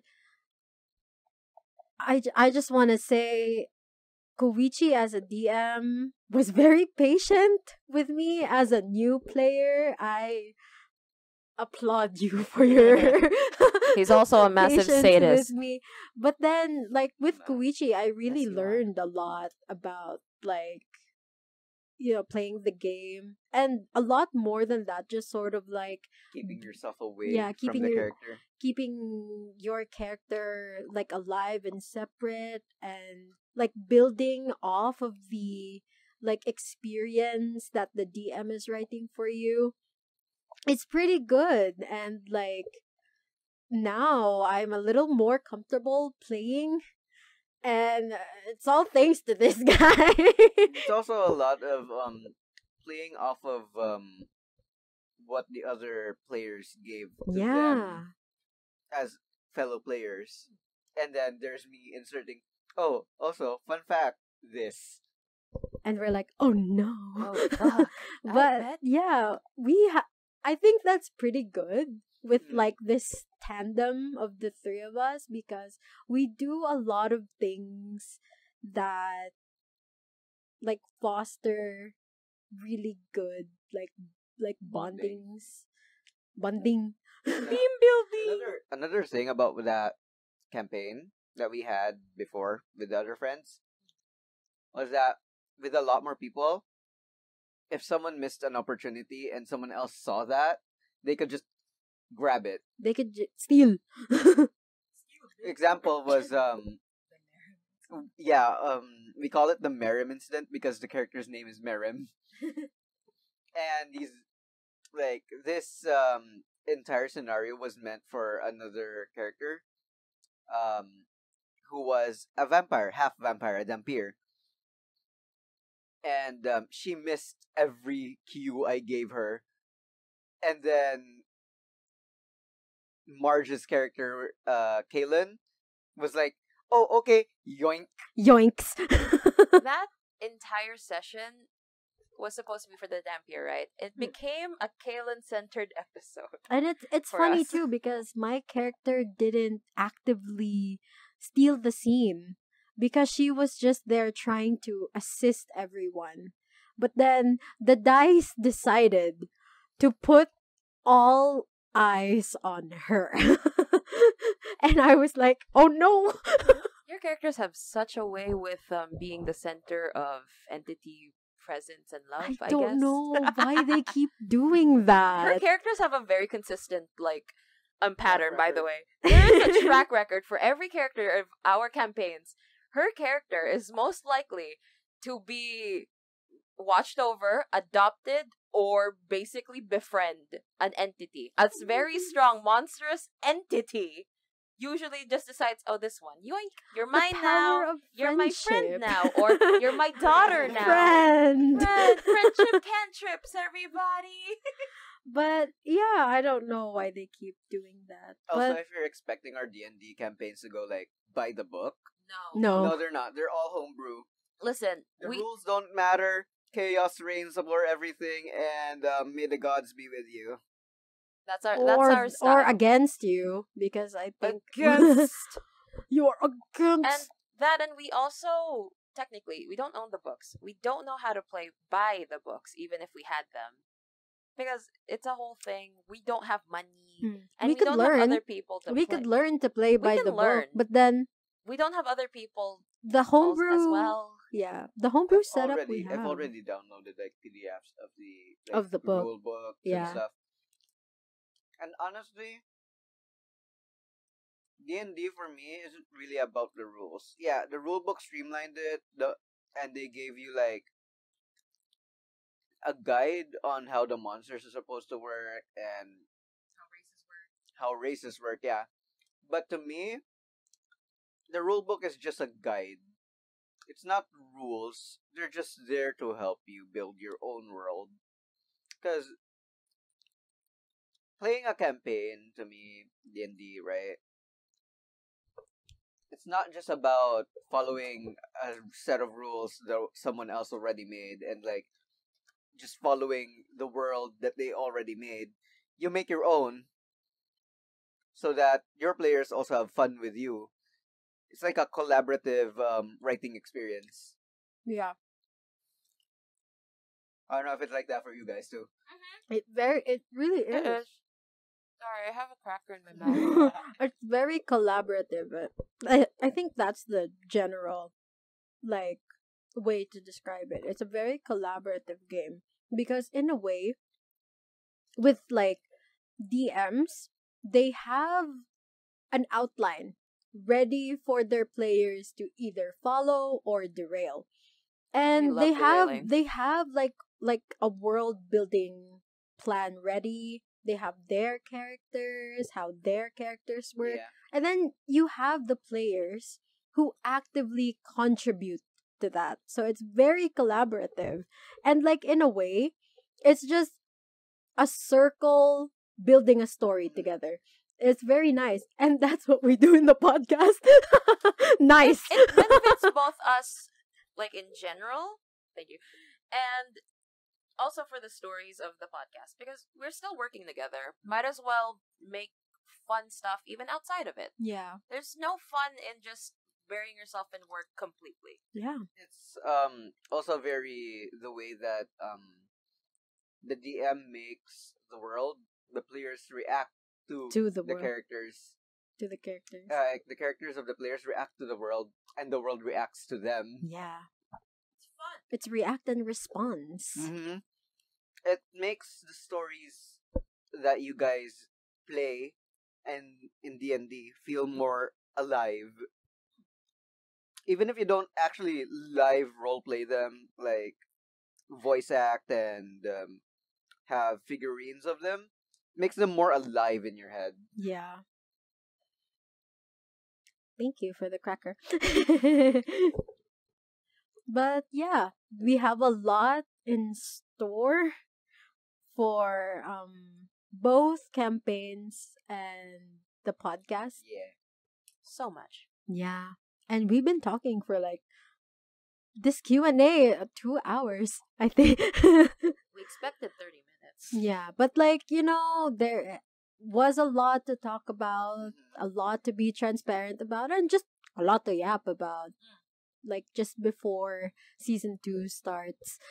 But yeah, uh, stay tuned for D and D. Stay tuned for D&D. D&D, baby. We will link it on our social media pages as well. So you get to see where to go. What if we had a D&D where it's like based on who are, are characters from the podcast. Right? Oh. I mean, I mm. already did suggest that. Yeah, you did. So why not? I just have to finish world building it. It's gonna take a while. Gonna take a while. You never know. It could be a platform for us to um drop more lore. Wow. drop more lore. Drop more lore. Correct. But yeah, um, aside from that, um, once production for season two finishes, expect some stuff to pop up in like Facebook Reels, Instagram, TikTok, TikTok. YouTube Shorts, maybe. We're gonna Yeah. utilize TikTok, guys. We're gonna Finally. we're gonna use the Tiki Talkies. We're gonna, Tiki Talks. we're gonna give you guys TikTok sounds. And also maybe our bloopers. Who knows? We might even do random character based bullshit. Who Yeah. knows? We'll the see, Prime we'll of the see. Hound. the prime of the hound. You'll see you'll definitely see a lot more content in the coming month. S- Like next month um about like the podcast um not just the usuals that you see that we post online there's definitely going to be more information some nice visuals some Ooh. art we'll see we'll see and i hope those would be able to help our listeners like be immersed in the world more Yeah. so looking forward to that. Uh, season two of Tales from the Catalog. I can't believe uh, we get to say that now. We have a season two.